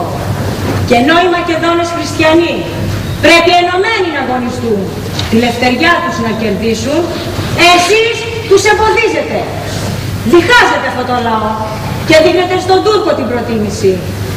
Αυτή σας η προσπάθεια ανησυχεί. Φαίνεται προδοσία. Αυτό δεν το ανέχομαι και να το πάρετε πίσω. Ξένες εσείς στο σπιτικό μου θα νοικοκυρέψετε, θα με ονομάσετε προδότη και τούτη δα την ώρα θα σας έδιωχνα αν δεν σεβόμουν τη φιλοξενία. Να μην όργιζεστε δεσπότη μου τόσο εύκολα. Είναι καλύτερα να ακούμε την αλήθεια. Ποια αλήθεια; Το ψέμα μάλλον θα έπρεπε να πεις. Ξέρεις πόσα μαχαίρια έχω εγώ και ο λαός μου από τον Τούρκο που λες πως προτιμώ; Ξέρεις πόσους αιώνες αιμορραγία τούτη εδώ η πατρίδα κατά το άτομο του αγά. Θα δεις πως μπόρεσε ποτέ να φιλωθεί με τον εχθρό της. Ποτέ. Μα καίει μέσα στα σπλάχνα μας η ελπίδα για την ευτεριά και εσύ μου λες πως στέκομαι εμπόδιο σε αυτή την ευτεριά.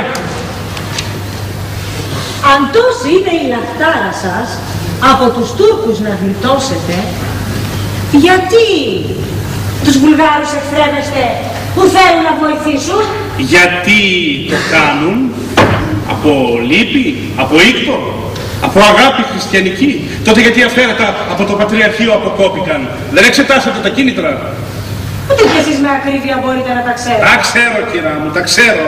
Το συμφέρον τους σκηνή. Το λένε και το γράφουν πως η Μακεδονία δεν είναι ελληνική και πρέπει να την πάρουν. Και μη δεν είναι έτσι δέσποτα. Μη με εξοργίζετε άλλο.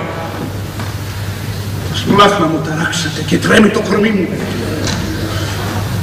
Φατάρα στην Ελλάδα μου που ήρθε και σας φώτισε. Σας έκανε ανθρώπους για να την πολεμάτε με τα όπλα της. Μα δεν ρωτήσατε ποτέ από πού ήταν ο Αριστοτέλης που ήρθε και σας φώτισε. Σας άνοιξε τα μάτια. Και ο τόπος είναι βουλγάρικος μωρέ; Μόνο οι τυφλοί και οι φανατισμένοι λένε πως η Μακεδονία δεν είναι ελληνική. Είσαι εξοργισμένος, δέσποτα. Γι' αυτό και με πεις να αρνιέσαι την αλήθεια. Α, έτσι. Είμαι εξοργισμένος, γι' αυτό και λυπίζω.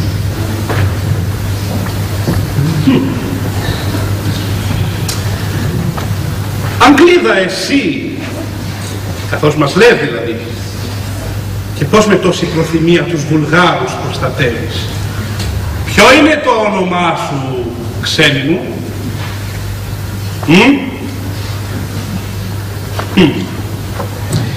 ή δε και είσαι από δάφτους και τάβρες με τους Άγγλους.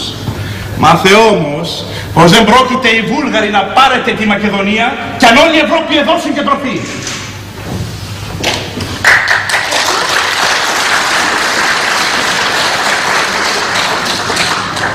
Εγώ σεβασμιότατε θέλω να σας μιλήσω για κάτι άλλο. Σοβαρό. Κι εγώ εσάς, κυρία Τόμσον. Οι Μακεδόνες υποφεύγουν. Φτώχεια μεγάλη και εγκλήματα λένε πως είστε εσείς της Μακεδονίας ο νέος.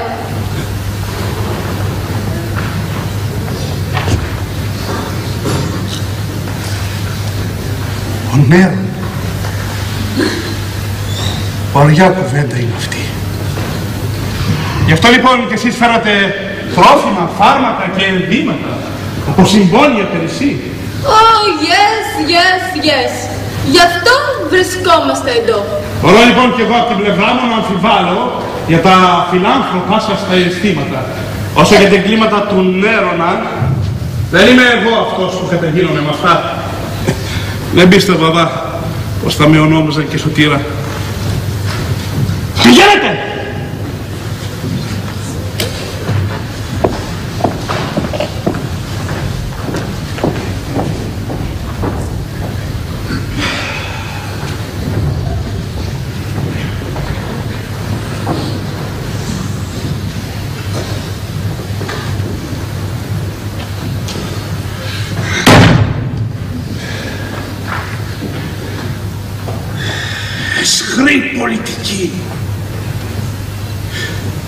Ζάρια παίζεις πάντα την Ελλάδα.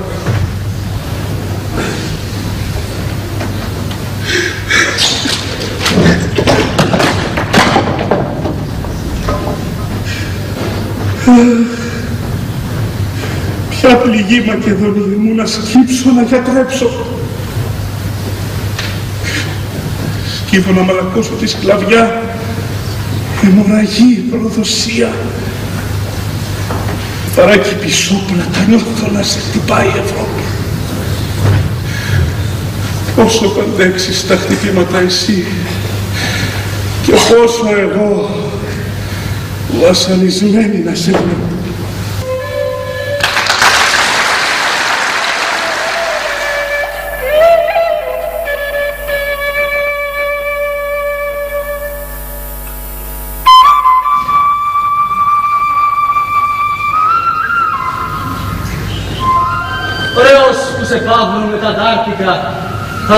Πως ξεπέρασες και αυτόν τον φοβερό τον κότα.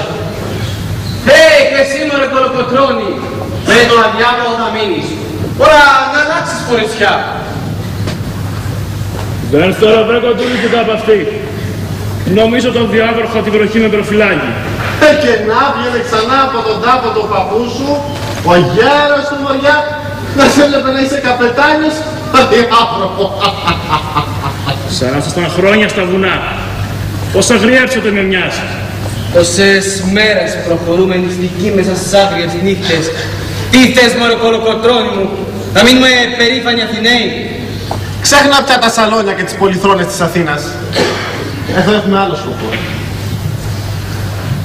Αφήστε με μέρα με τον διάβροχο να το θυμάμαι πως σκοτάδω την Αθήνα.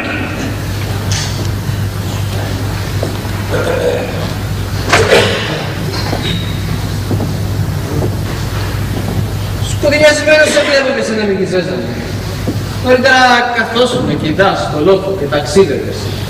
Τι σου συμβαίνει; Προ μιας εβδομάδας θυμήθηκα αποχαιρετούσα τη γυναίκα μου, τα παιδιά μου και πόνεσα βαθιά. Τους έσφιξα νοερά στην αγκαλιά μου και συγκινήθηκα. Συμπάθομαι κοντούλη, άνθρωπος είμαι κι εγώ. Και αυτές οι ώρες έρχονται. Δεν πληγεί ποτέ ο ήρωας στην ανθρώπινη πλευρά μας. Μα θα τους δεις και πάλι σύντομα. Δίκιο έχεις. Να ξαστόχισα για λίγο το σκοπό μας. Χαρές μου κάνατε σαν ξεκινούσαμε από την Αθήνα. Και τώρα καθένας λογιάζεται τον πόνο του. Μη βλέπω κι εγώ τις λύπες μου, τις πίκρες μου. Αλλά εδώ μέσα που τριγυρνάμε σαν τους άγριους κλέπτες, ένας πρέπει να είναι ο καημός και ο πόνος μας. Η σκλαβωμένη Ελλάδα, η Μακεδονία.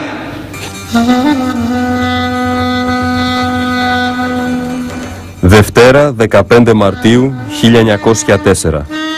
Τελείωσαν νάτα μου τα βάσανα.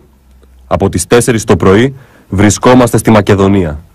Δεν φαντάζεσαι πόσο ανυπομονώ να την δω όλη. Έχω την πεποίθηση ότι με την παρουσία μου, με λίγη γενναιότητα και πολύ καλοσύνη και φιλανθρωπία θα αλλάξουν τα πράγματα. Συγχώρησε καλή μου αυτόν τον εγωισμό. Είμαι ο μόνος που το αισθάνομαι. Στο νου μου έχω διαρκώς καθήκον, Μακεδονία, πατρίδα, οικογένεια, νάτα, παιδιά, καραβαγγέλη και άλλα τίμια. Όταν συλλογίζομαι ότι ίσως με βοηθήσει ο Χριστός να επιτύχω, νομίζω πως μου έρχεται τρέλα. Συνάντησα εδώ και έναν πολύ καλό φίλο, τον Νίκο Πύρζα. Σας στέλνω δυο φύλλα κυκλάμινα από τη Μακεδονία. Η ωραιότης των τόπων είναι απερίγραπτος. Χίλια φιλιά μακεδονικά σε όλους, Παύλος.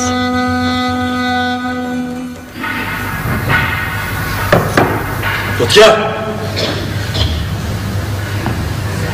Τόνι,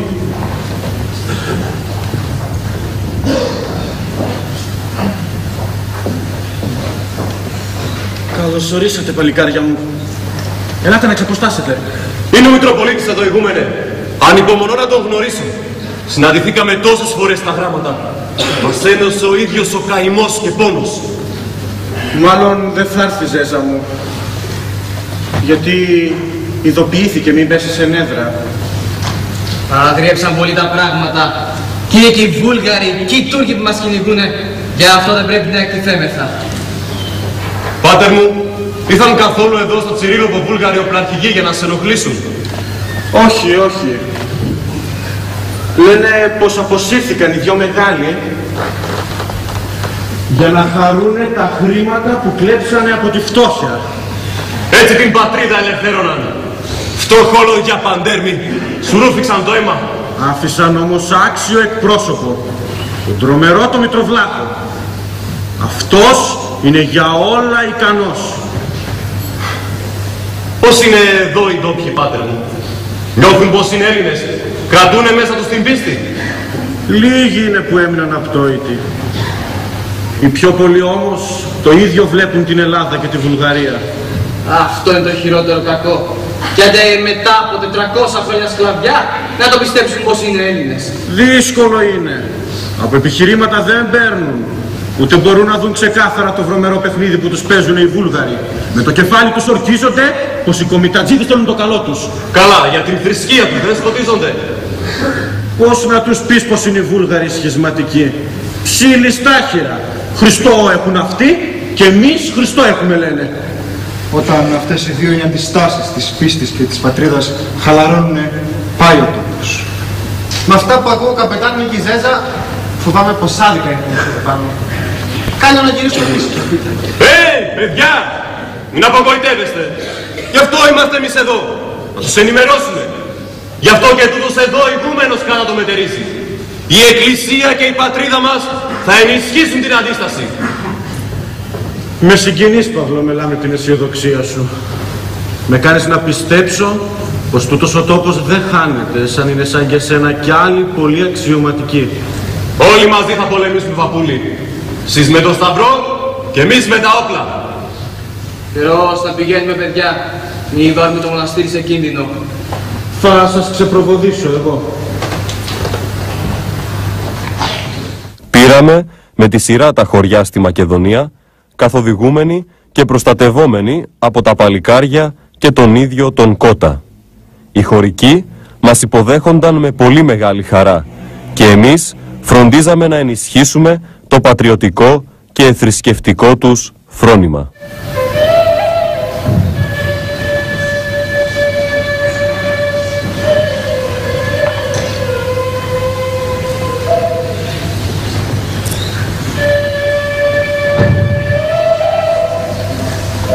Καλώς τους. Ελάτε. Ελάτε. Καμαρός οι πατριώτες, την ελληνική λέει παιδιά. Είναι το ελληνικό απόσπασμα που ήρθε για να αντιδράσει στη βία και στα κακουργήματα. Εμείς αδέρφια μου, οι Μακεδόνες, για να αποκτήσουμε ελευθεριά, δυο δρόμους έχουμε να ακολουθήσουμε. Ο ένας πηγαίνει στη Βουλγαρία. Όχι! Είναι δρόμος που βαστά 30 μέρες γεμάτος αγκάθια που θα μας γλάρουν ως Ο άλλος πηγαίνει στην Ελλάδα. Ναι! Είναι ωραίος και καθαρός. Ναι! Τον δρόμο για την Ελλάδα προτιμούμε, καπετάν Κότα. Θέλουμε να μας αγκαλιάσει η μάνα μας και όχι η Βουλγαρία. Αλλά βοηθήστε, προστατεύστε μας. Μας κλέβουν, μας τριμάζουν. Γι' αυτό βρισκόμαστε εδώ αδέρφια μου, για να σας βοηθήσουμε και εμείς. Αλλά και εσείς μπορείτε να προστατευτείτε. Προσέχετε τα άκυρα χτυπήματα, τους υπερβολικούς και ατέργαστους ενθουσιασμούς. Αυτά σημειώνουν τον αγώνα μας. Κάθε κίνηση θέλει μέτρημα. Εμείς είμαστε αμόρφωτοι και λάθη κάνουμε. Εσείς που είστε μορφωμένοι και παλικάρια, δείξτε μας τον δρόμο μαζί να προχωρήσουμε. Περίσσιο θάρρος πήραμε που μας σκέφτηκε η Ελλάδα.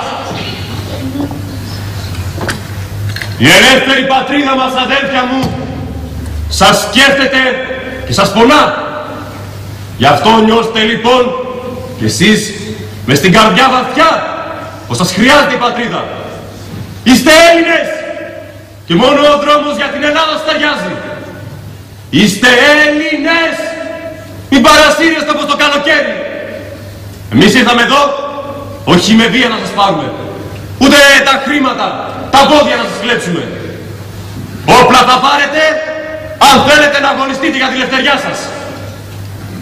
Εμείς ούτε κανένα θα κρεμάσουμε, ούτε και μάτια θα βγάλουμε, ούτε και κρυβόμαστε εμείς σαν των Βουλγάρων τους οπλαρχικούς. Όποιοι θέλετε, μπορείτε να ακολουθήσετε. Αγάπη, πατριωτισμό, παλικαριά διαθέτουμε.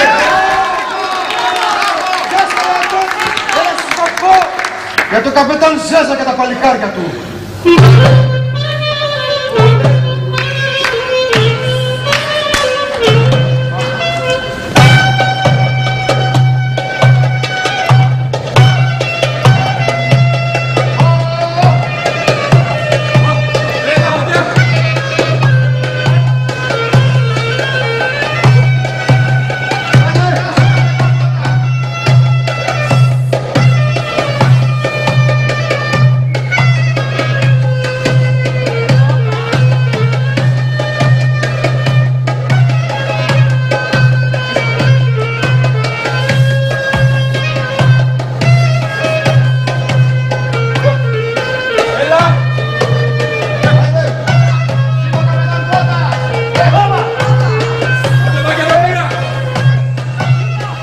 Συνεχίσαμε την πορεία μας από τη Ρούλια προς τις Πρέσπες.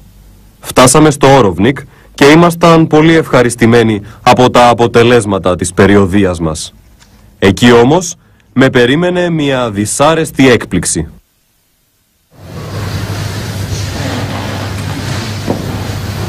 Η τουρκική πρεσβεία μαθούσα την παρουσία των Μελάκ Κοντούλη στην περιοχή της Καστοριάς προέβη εις παραστάσεις.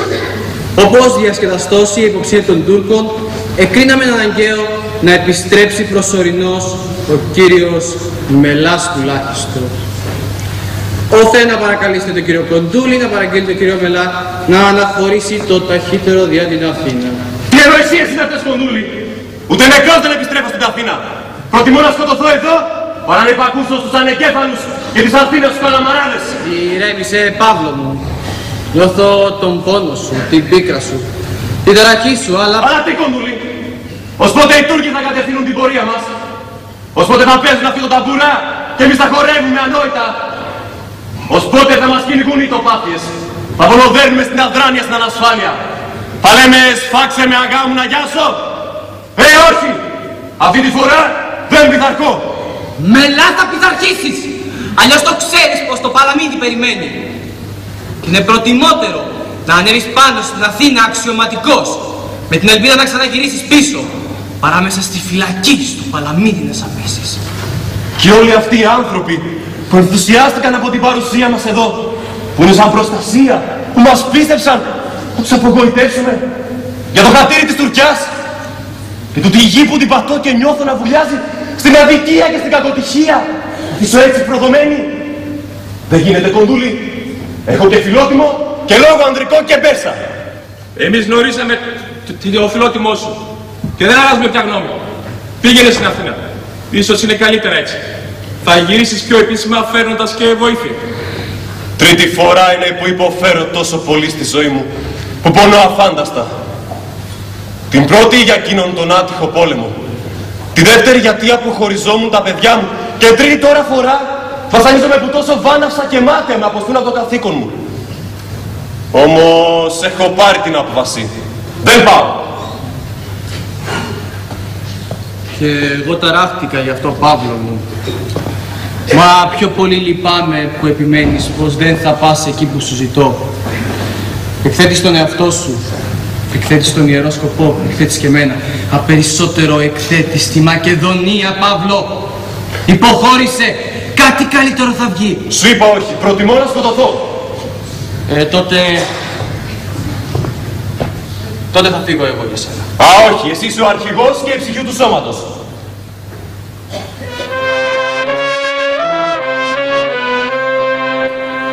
και επέστρεψα στην Αθήνα. Μετά λίγες ημέρες με επισκέφθηκαν δύο Κοζανίτες.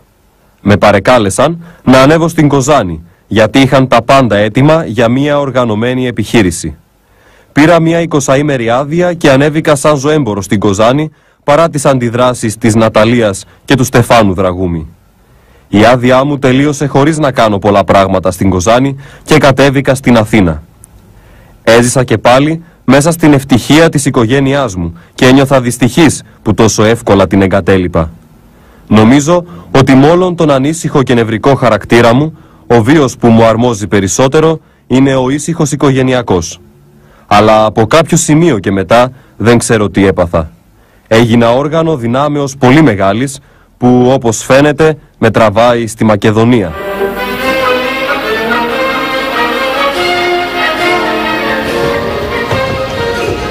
Μείνε Ζέζα, έχεις τα πιο ήσυχα; Φρόνημα. Έλα εδώ Μίκη. Σε λίγο θα έρθει ο μπαμπάς. Νάτα! Δικαιώθηκα! Μου ανέθεσαν επίσημα πια την αρχηγία των Αντάρτικων σωμάτων στη Μακεδονία. Δεν είναι αυτό τιμητικό; Ναι, είναι πολύ τιμητικό. Και μια ικανοποίηση για ό,τι έκανες ως τώρα.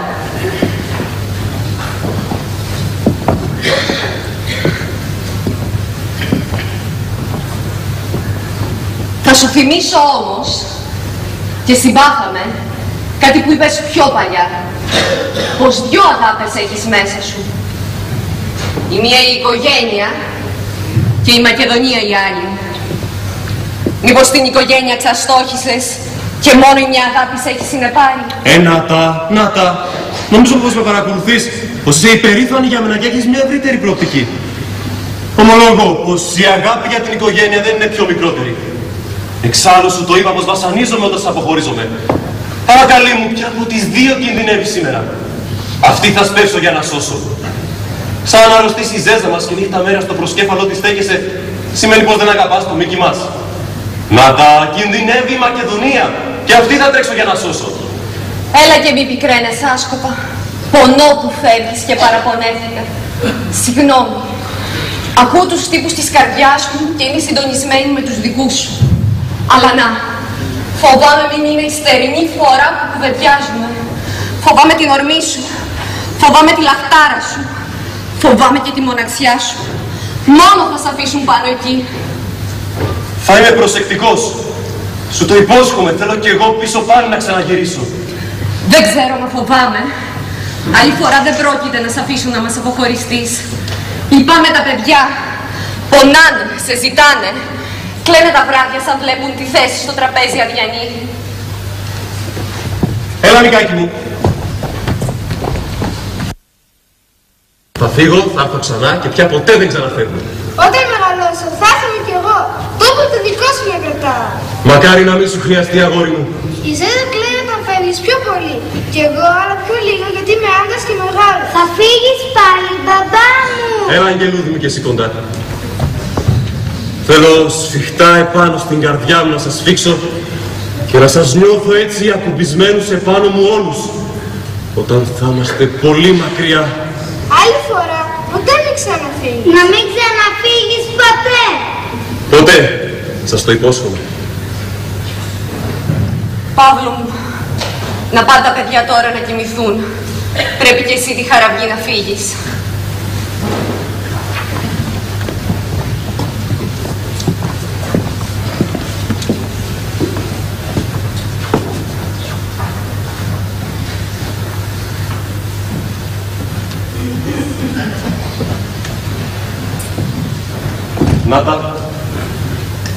Φέρω χώμα μακεδονίτικο ελεύθερο. Και έπειτα όλοι μαζί θα πάμε στη Μακεδονία. Μακάρι.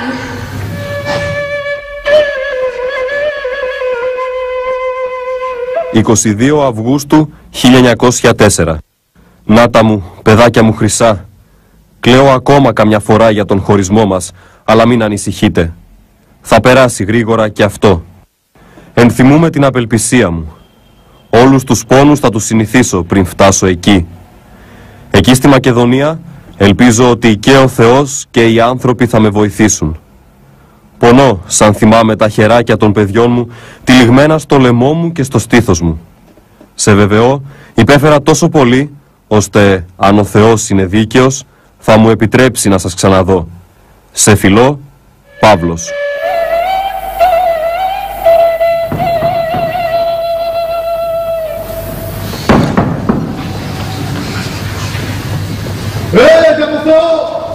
Μην μπαίνετε στο μοναστήρι καπετάνι! Φοβάμαι! Τι είναι που φοβάσαι, ηγούμενε; Αν πάρουν είδηση οι Τούρκοι καπετάνιε ότι μπήκαν αντάρτες στο μοναστήρι της Μερίτσας, πάνε τα πρόβατά μας που βόσκουν σε τουρκικό έδαφος.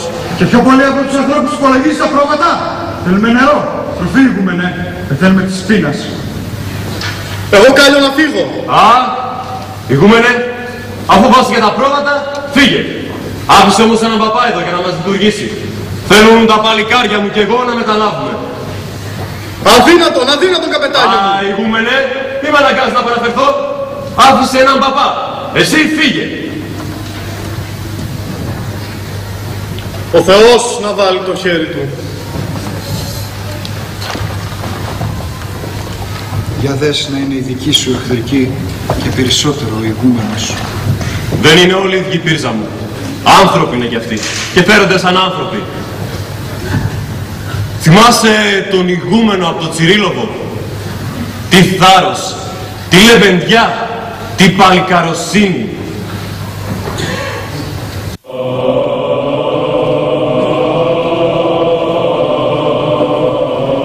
Μακεδονία, Σάββατο 28 Αυγούστου 1904. Πήγα στην εκκλησία της Μονής.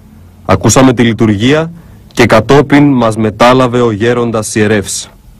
Ουδέποτε με τόση κατάνοιξη μετάλαβα. Ο νους μου διαρκώς εστρέφεται προς εκείνον που για χάρη μας και για τη Θεία Θρησκεία του υπέστη το μαρτύριο. Το μέγεθος της θυσίας του Χριστού, το μέγεθος της αποστολής του με έκανε να αισθάνομαι πόσο μικρή και πόσο μακριά από Αυτόν βρισκόμαστε εμείς, αλλά και με ενεθάρρυνε. Πάντοτε τον ελάτρευα για τη θρησκεία του και τον εθαύμαζα για τη θυσία του. Ελπίζω να με βοηθήσει. Αισθάνομαι τώρα ισχυρός, γενναίος, καλύτερος και έτοιμος να κάνω τα πάντα. Σας φιλώ, Παύλος.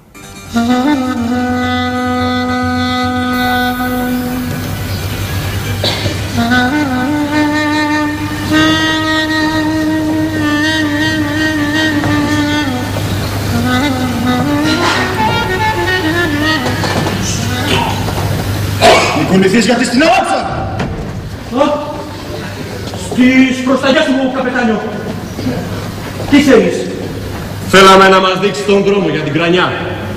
Αν φανείς καλός και πιστός, θα καλοπεράσεις. Αλλιώτικα, αλίμονο. Με τα χαράς, καπετάνιο. Θα σας οδηγήσω εγώ και δεν θέλω καμιά πληρωμή.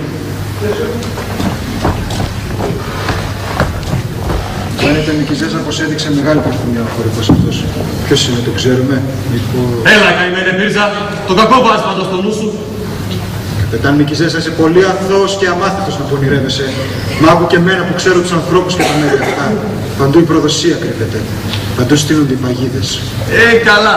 Κάνε και λίγο το κουτό. Καλύτερα για σένα. Λεβέντης που είναι μωρό καπετάνιο σας. Τι μπόι, τι κορμοστασιά. Δεν μοιάζει γυαλιστής. Ούτε κομιτατζής μου φαίνεται να είναι. Πανάθεμά σε χωρικέ, τι σχέση έχει με αυτούς ο καπετάνιος; Και τελικάτος φαίνεται και καλοζωισμένος. Σάμπος από μεγάλο τζάκι να κατάγεται. Καλά, δεν ξέρεις ρε ακόμα με ποιον αντάμα περπατάς; Σε ποιον η δούλεψή σου θα προσφέρεις; Όχι, δεν άκουσα τίποτε. Είναι ο καπετάν Νικηζέζας, ο Μελάς. αξιωματικός από την Αθήνα. Καλά, τι τρέλα τον έπιασε και άφησε τις τιμές, τις δόξες. Να σκαρφαλώσει στα βουνά, να υποφέρει. Για σένα και για μένα το έκανε. Για τη Μακεδονία. Την ελευθερώσει και από τους εχθρούς. Από τους Τούρκους εννοείς και τους κομιτατζίδες. Ακριβώς.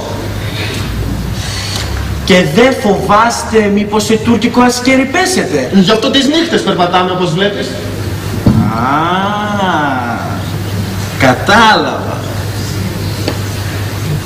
Καιρός να ξαποστάσουμε παλικάρια μου λίγο και να κοιμηθούμε. Γιατί έχουμε κόπο πολύ μπροστά μας ακόμη.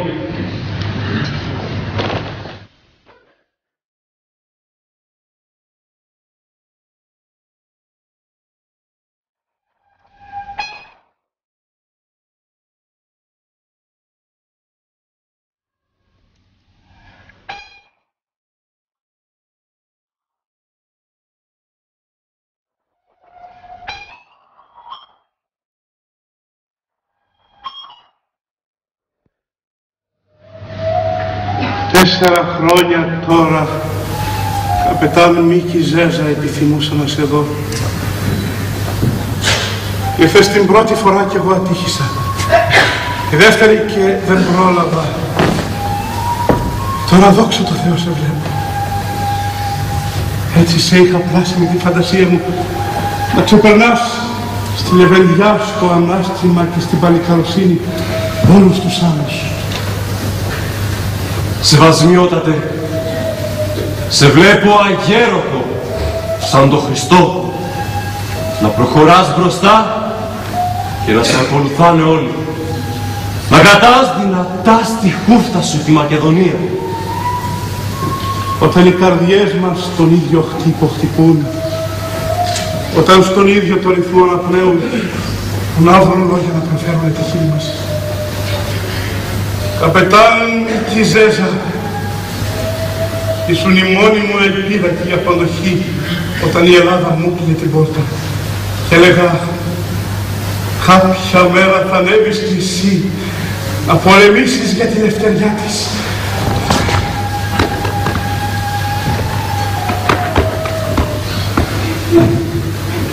Το έλεγα κι εγώ δεσπότη μου. Όσο είναι ο Καραβαγγέλης εκεί ψηλά, Βούλγαρος δεν θα μείνει στη Μακεδονία. Έλα αδελφέ μου, τη φλόγα τούτης της καρδιάς να ενώσουμε που μας έφαγε τους δυο. Καραβαγγέλη, πού τη βρήκες τόση αντοχή; Που βρήκες το κουράγιο εσύ, τη σύζυγο και τα παιδιά σου να αφήσεις τα πλούτη, τα αξιώματα για να μπεις μες στη φωτιά. Συγκίνηση με πιάνει και μόνο που το σκέφτομαι πως έχει η πατρίδα η άμερη ακόμη τέτοιους πατριώτες. Η ίδια δύναμη είναι που μας κινείμενα. Η δύναμη της πίστης και της πατρίδας. Εσένα σε έβγαλε από τη ζωή και εμένα από τον προορισμό μου. Κοιμάμαι και ξυπνώ και λειτουργώ, προσεύχομαι με το πιστόλι στην καρδιά. Θα βγει κάτι καλό από τούτη θυσία, δεσπότη μου. Ναι, το πιστεύω ακράδαντα θα βγει. Έφερες λίγο χώμα από την ελεύθερη πατρίδα μας για να φυτέψουμε βασιλικό να δούμε αν θα βλαστήσει. Τα παλικάρια μου θερά. Και εμένα. Όλοι θα γίνουμε στο δέντρο το άγριο για να παραμείνει ελληνικό. Τούτη την ώρα βλέπω στη λεβεντιά σας όλη η Μακεδονία να ακουμπά. Καπετάν Μικιζέζα, να φυλάγεσαι. Νύχτα να περπατάς, να κρύβεσαι τη μέρα γιατί δεν έχουν μπέσα οι Βούλγαροι. Ακούω πως σε φοβούνται και δεν έχουν το θάρρος να χτυπηθούν μαζί σου στα ίσια. Πρόσεχε Ζέζα, πρόσεχε, μη σε φάμε μπαμπεσιά. Εσύ περπάταγες άφοβα, δεσπότη μου. Και με ένα φόβο στην καρδιά μου βάλεις. Ο Καραβαγγέλης κι αν χαθεί, δεν έχει ανθρώπους να τον κλάψουν. Μα εσένα σε χρειάζεται η οικογένεια. Σε έχει ανάγκη και η πατρίδα. Κάνε την προσευχή σου και εσύ δεσπότη μου. Θέλω κι εγώ κοντά τους να ξαναγυρίσω. Πάρε ετούτο το σταυρό που έχει από πίσω γραμμένη την επιγραφή το ετούτο Νίκα. Πάρε και μία εικόνα της Αναστάσεως. Κάτι έχω γράψει από πίσω. Το πολυφιλίτο μου τέκνο φυλακτήριο. Έντινε και κατεβοδού και βασίλευε και κατακυρίευε μέσω των εχθρών σου. Σας ευχαριστώ σεβασμιότατε. Αυτή μας η συνάντηση ήταν η εκπλήρωση του πόθου. Ήταν μια αναβάπτιση στο θάρρος και στη δύναμη. Ήταν σαν να συνάντησα τον ίδιο τον Χριστό και νιώσα τη λατρεία των δικών μου στα πατρικά τα λόγια σας. Αν στη Μακεδονία φυτέψω τα μυρό μου το κορμί, πιστεύω πως ο Καραβαγγέλης σαν πατέρας θα με θάψει, θα με περιποιηθεί. Άψη. Πας και πάλι στην Αθήνα θα δεις και τους δικούς σου να σε βέβαιος. Μακάρι. Μα για καλό και για κακό, ας ευχηθούμε να είναι καλό το βόλι. Να είναι ελευθεριά. Καλή και γρήγορη μερά.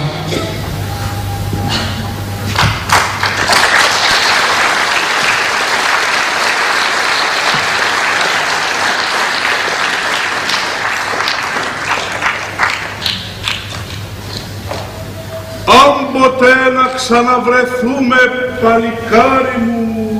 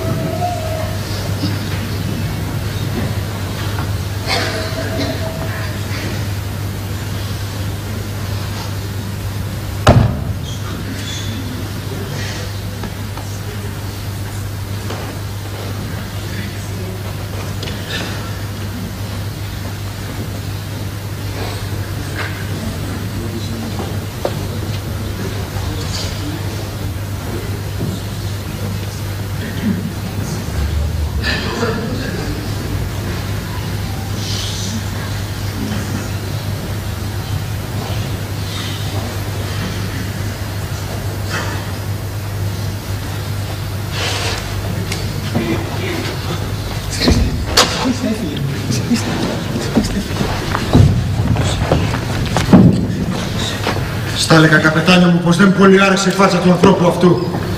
Έφυγε.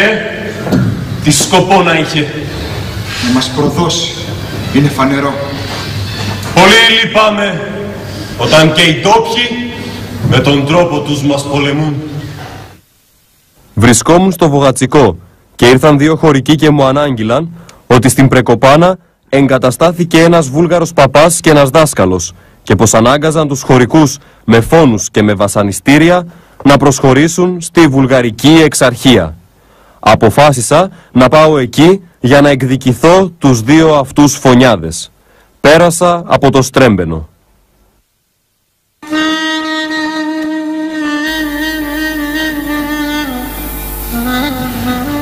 Πιάσαμε ένα βούλγαρο και το παιδί του καπετάνιο.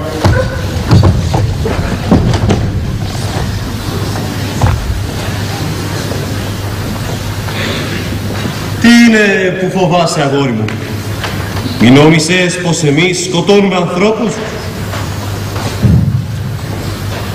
Σήκωσε το κεφάλι σου και κοιτάξε με πως δεν είμαι εδώ και τόσο άγριος. Ο Νίκος σου κάτσε κι αλλού. Πάνω ξέρε το παιδί. Γιατί με αποφέρεις πατριώτη; Δεν είναι από έκτο, αλλά από ανθρωπιά και ευαισθησία. Έχω κι εγώ παιδί. Με καλοσύνη θα ήθελα να τους φερθούν κι άλλοι. Ποια καλοσύνη; Που τη βρήκατε στημένη τάλματα. Γιατί τα κουβαλάτε; Όχι από καλοσύνη βέβαια. Μη θάρεψες πως μοιάζουμε με εσάς και τους οπλαρχηγούς σας που τα έχουν για να σκοτώνουν και να σφάζουν αθώους. Κουβαλάμε τα άρματα για να προστατεύσουμε αυτούς που άδικα σκοτώνετε εσείς. Καλό λέγεται με όπλα. Εσύ το λες. Δική σου γνώμη είναι. Πάρ' τον παραπέρα.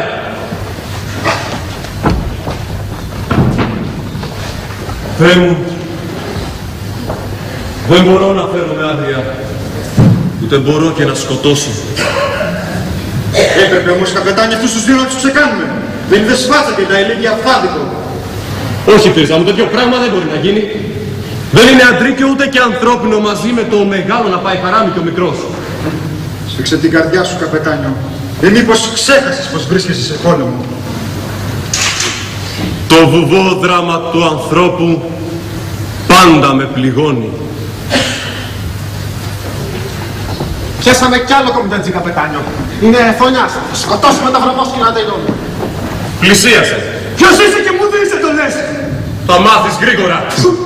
Κλείσισέ μας στο χωριό, καπετάνιε, γιατί όταν φύγεις θα μας κάψουν ζωντανούς. Εσύ ποια είσαι; Είμαι η χείρα του Παπαδημήτρη, καπετάνιε. Ποιος είναι αυτό; Τον ξέρω Πίρζα. Τον ήξερε καλά ο Καραβαγγέλης. Ήμασταν λίγοι στο χωριό που δεν φιλιώσαμε με τους κομιτατζίδες. Μαζί και ο παπάς μου. Του έτριζαν τα δόντια οι Βούλγαροι. Του έλεγαν και πως θα τον χαλάσουν. Και πιο πολύ από όλους τα αδέρφια μου. Τα αδέρφια σου; Ναι, ναι, τα αδέρφια μου. Δουλεύουνε για το κομιτάτο. Μου την έσπασαν την καρδιά μου η Ζέζα. Μου την εκάμανε κομμάτια. Ακούω πως σκοτώνονται οι Έλληνες και αγωνιώ για το παιδί μου. Μαθαίνω πως καλούν κομιτατζή και λαχταρώ για τα αδέρφια μου. Πόνο και από τον πόνο αυτό πιο μεγαλύτερο γνωρίζεις. Και δεν είμαι μόνο εγώ που έτσι υποφέρω και για τις δυο πλευρές. Είναι οι περισσότεροι μέσα στο χωριό. Αλήθεια. Αυτός ο διχασμός είναι ο πιο πικρός. Θα γίνεται αίμα, αδερφικό. Είναι απάνθρωπο. Έτσι και τον παπά μου κομμάτιασαν. Άνθρωποι από το χωριό, συγγενείς. Σαν βγήκε από τη Μητρόπολη, παραφύλαξαν και τον εκάμανε κομμάτια. Δεν ήταν όμως ο αδερφός μου που το έκαμε, σου το ορκίζομαι. Ήταν, δεν ήταν δύστιχη; Τι ωφελεί πια τώρα; Δεν ήταν καπετάνιο μου. Δεν μπορεί το συγγενή του, το γαμπρό του, τόσο άγρια να πετσοκόψει. Να βλέπεις πώς μου τον έφεραν. Ένα σωρός από... Θεέ μου, που έφτασαν οι άνθρωποι. Ανήμερα θεριά. Ακόμη πιο χειρότερα, πιο εξαγριωμένα.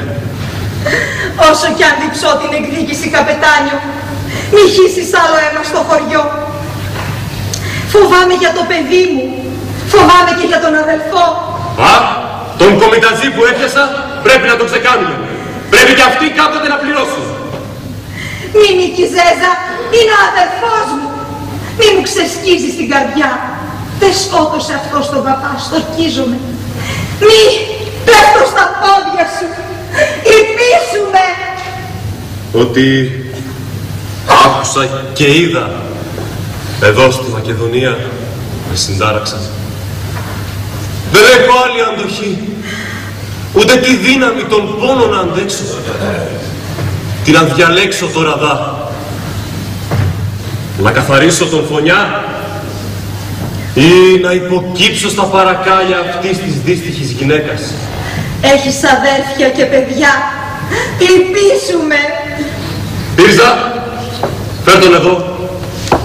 Ο πόνος ο ανθρώπινος νικάει την αγριότητα. Καπετάνο Γιζέζα, πράσε το πιο σωστό. Εσύ πάλι ποια είσαι; Χωρακωμένα όπως βλέπεις. Με έναν τάφο νιώσω. Είμαι του καπετάν Βαγγέλης, ναι. Α, ναι. Άκουσα από τους οπλαρχηγούς για τον καπετάν Βαγγέλη. Μου είπε και ο Μητροπολίτης πως τον έπεισε να προστατεύει τα κοριά από τους κομιτατζίδες. Τι συνέβη λοιπόν; Έτρεχε πίσω από τον δεσπότη. Που μπροστά του ήταν το δεξί του χέρι. Μα τον έφαγα. Ποιοι; Αυτοί οι φωνιάδες που κρατάς τα χέρια σου και τους λυπάς. Τον παραφύλαξαν μια μέρα που γυρνάγε από το μήλο και τον έκανανε κομμάτια. Και έπειτα μου μίλησα στις ρεματιές να πάω να μαζέψω τα κομμάτια. Ό,τι μπόρεσα να μαζέψω έθαψα.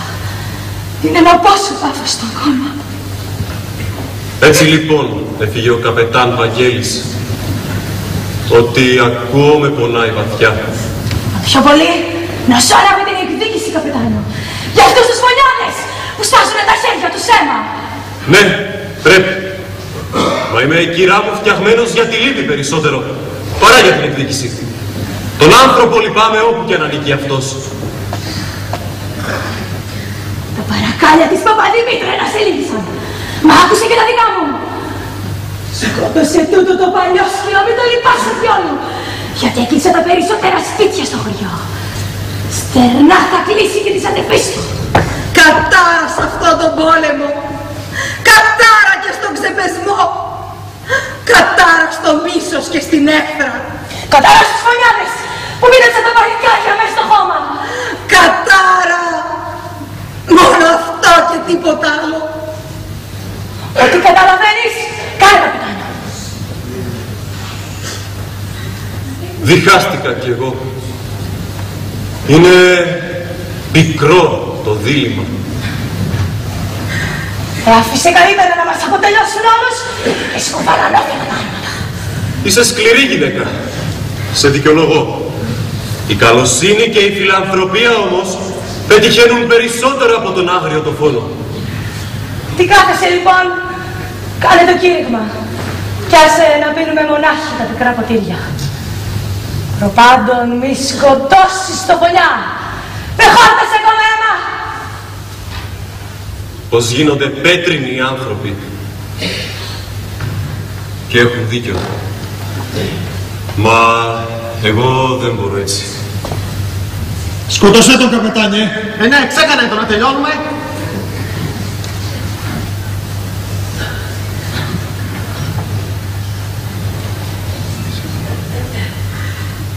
Όχι, όχι. Πρώτα θα πολεμήσω με την ανθρωπιά και έπειτα με το όπλο. Λοιπόν, αν σε δικάσει κανείς για τους φόνους σου και 20 φορές δεν φτάνει να πεθάνεις. Η επίοικια όμως και ο πόνος ο ανθρώπινος δεν με αφήνουν στα αιματά σου τα χέρια να βουτήξουν. Αλλά πρόσεχε, αναστολή μόνο θα πάρεις, μήπως και μετανιώσεις. Αν το παραμικρό ακούσω για σένα, θα σε σκοτώσω σαν σκυλί. Βελκαμένη 2 Οκτωβρίου 1904. Μετά την ασημέρας είναι η επέτειος των γάμων μας, η δωδεκάτη.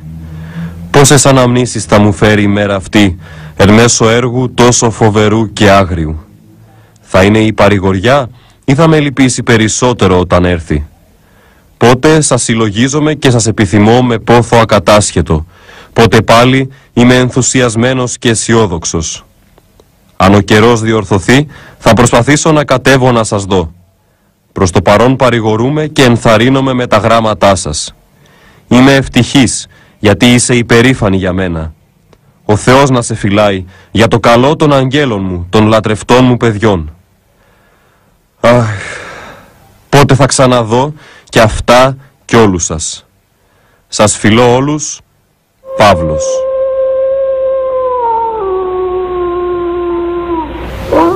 Στη Στάτιστα θα μείνουμε απόψε Πύρζα. Δεν προλαβαίνουμε να πάμε για το ζέλο του. Να επιταχύνουμε το βήμα, καπετάνιε. Επειδή εσύ μπορείς να περπατάς, άρα και όλοι το μπορούνε. Να μην πάμε στο χωριό, καπετάνιο. Έξω να μείνουμε. Γιατί είναι επικίνδυνο. Πάψε, Νίκο. Όλα τα λιμέρια και τα δάση θα πας. Σαν να σε κλέψεις από τα παλιά. Τα παιδιά είναι κουρασμένα και έχουν βραχείο στο δοκάλο. Πώς θέλεις, καπετάνια. Κάτι όμως δεν μ' αρέσει στην υπόθεση αυτή. Έλα καημένε πύρσα. Όλα στις φωνιές των λύκων τριγυρίζουμε. Και τώρα που θυμήθηκες πως κινδυνεύουμε, μη μας κατασπαράξουνε.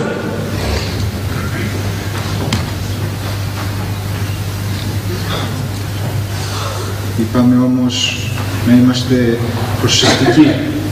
Έτσι δεν είναι. Δεν ξέρω τι σε κάνει και ανησυχείς.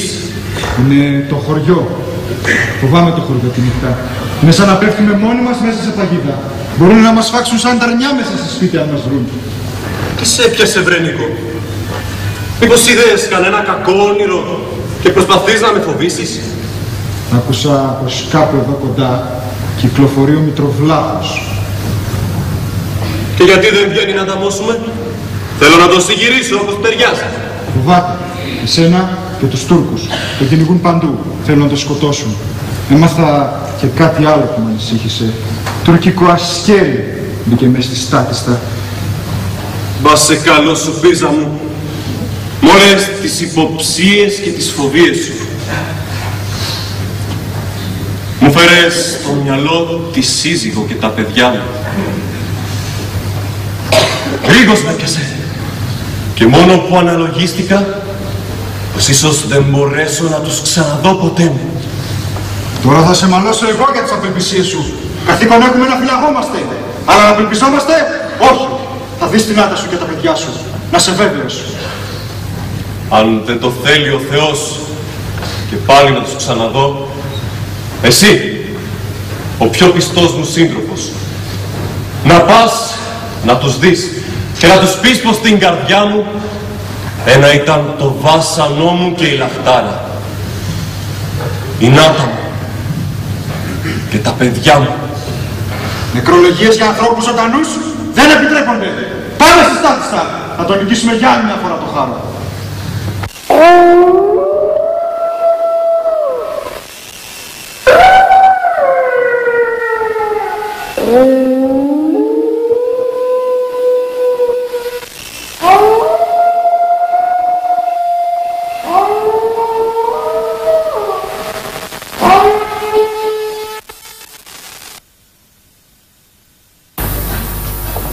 Νίκο, τι νέα για το τουρκικό ασκέρι. Έμαθα μπήκε στη στάτιστα ήσυχα ήσυχα και στρατοπέδευσε στα βόρεια. Έμεινε μέσα στο χωριό. Ναι. Ειδοποίησες τα άλλα καταλήμματα. Κανένα παλικάρι να μην πυροβολήσει; Ναι, είναι ήσυχος. Κάτω καπετάνιο, θα είμαστε πιο ασφαλείς. Τουρκοί νέοι κομιτάτζιδες. Τι λόγο είχαν οι Τούρκοι να μας περικυκλώσουνε; Βλέπω ένα στρατιώτη στην αυλή. Καιρός να ρίξω κι εγώ μια μπαταριά.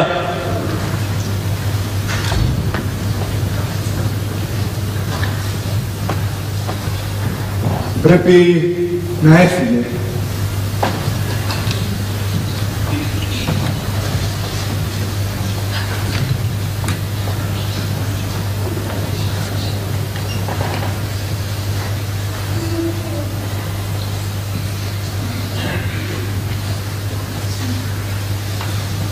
Έχει μια ησυχία ύπουλη.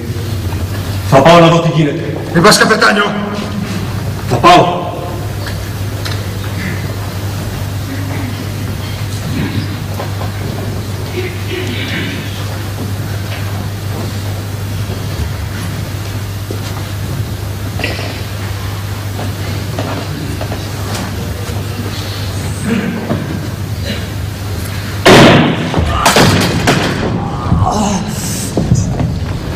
Στη μέση με πήρε, παιδιά!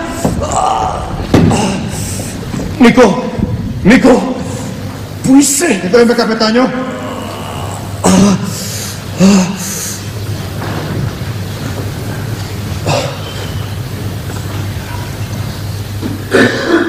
Τον δώσεις στη γυναίκα μου. Και το τουφέκι μου. Κολλή το τουφέκι του Το καπετάνιο. τουφέκι μου. Το τουφέκι μου.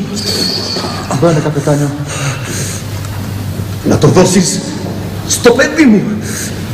Α, α, Στο Νίκη μου. Να τους πεις. α, α, Το καθήκον μου έκανα. Α, Γεια σου, καπετάνιο. Πόνο. Θα πας και θα πας και θα πας γρήγορα. Μη βάνεις, μη βάνεις το καπιτάνιο σου. Να τα...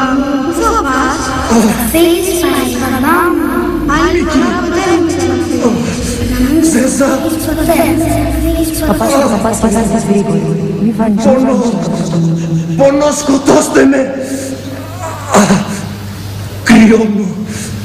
Α,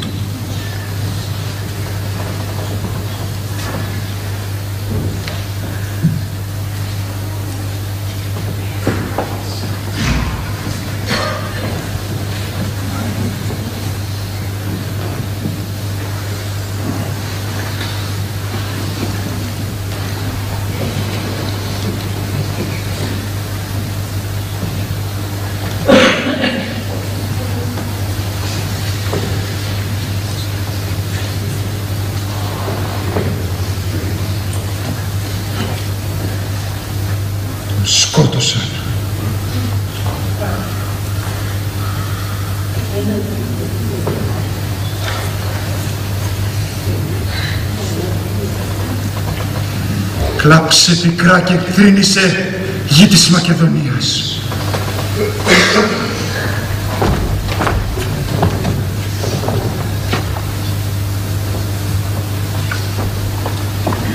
Ελαδίνε, γνωρίζεις ποιος το έκανε. Σκότωσαν οι Τούρκοι. Μα ήταν παπεσιά. Ο Μητροβλάχος σας παρακολούθαγε. Στη στάλη σας αν πήγατε ειδοποιεί τους Τούρκους πως τάχα ο Μητροβλάχος σε σπίτι μες στη στάλη σας κρύβεται. Ήρθαν λοιπόν οι Τούρκοι το Μητροβλάχο να σκοτώσουν και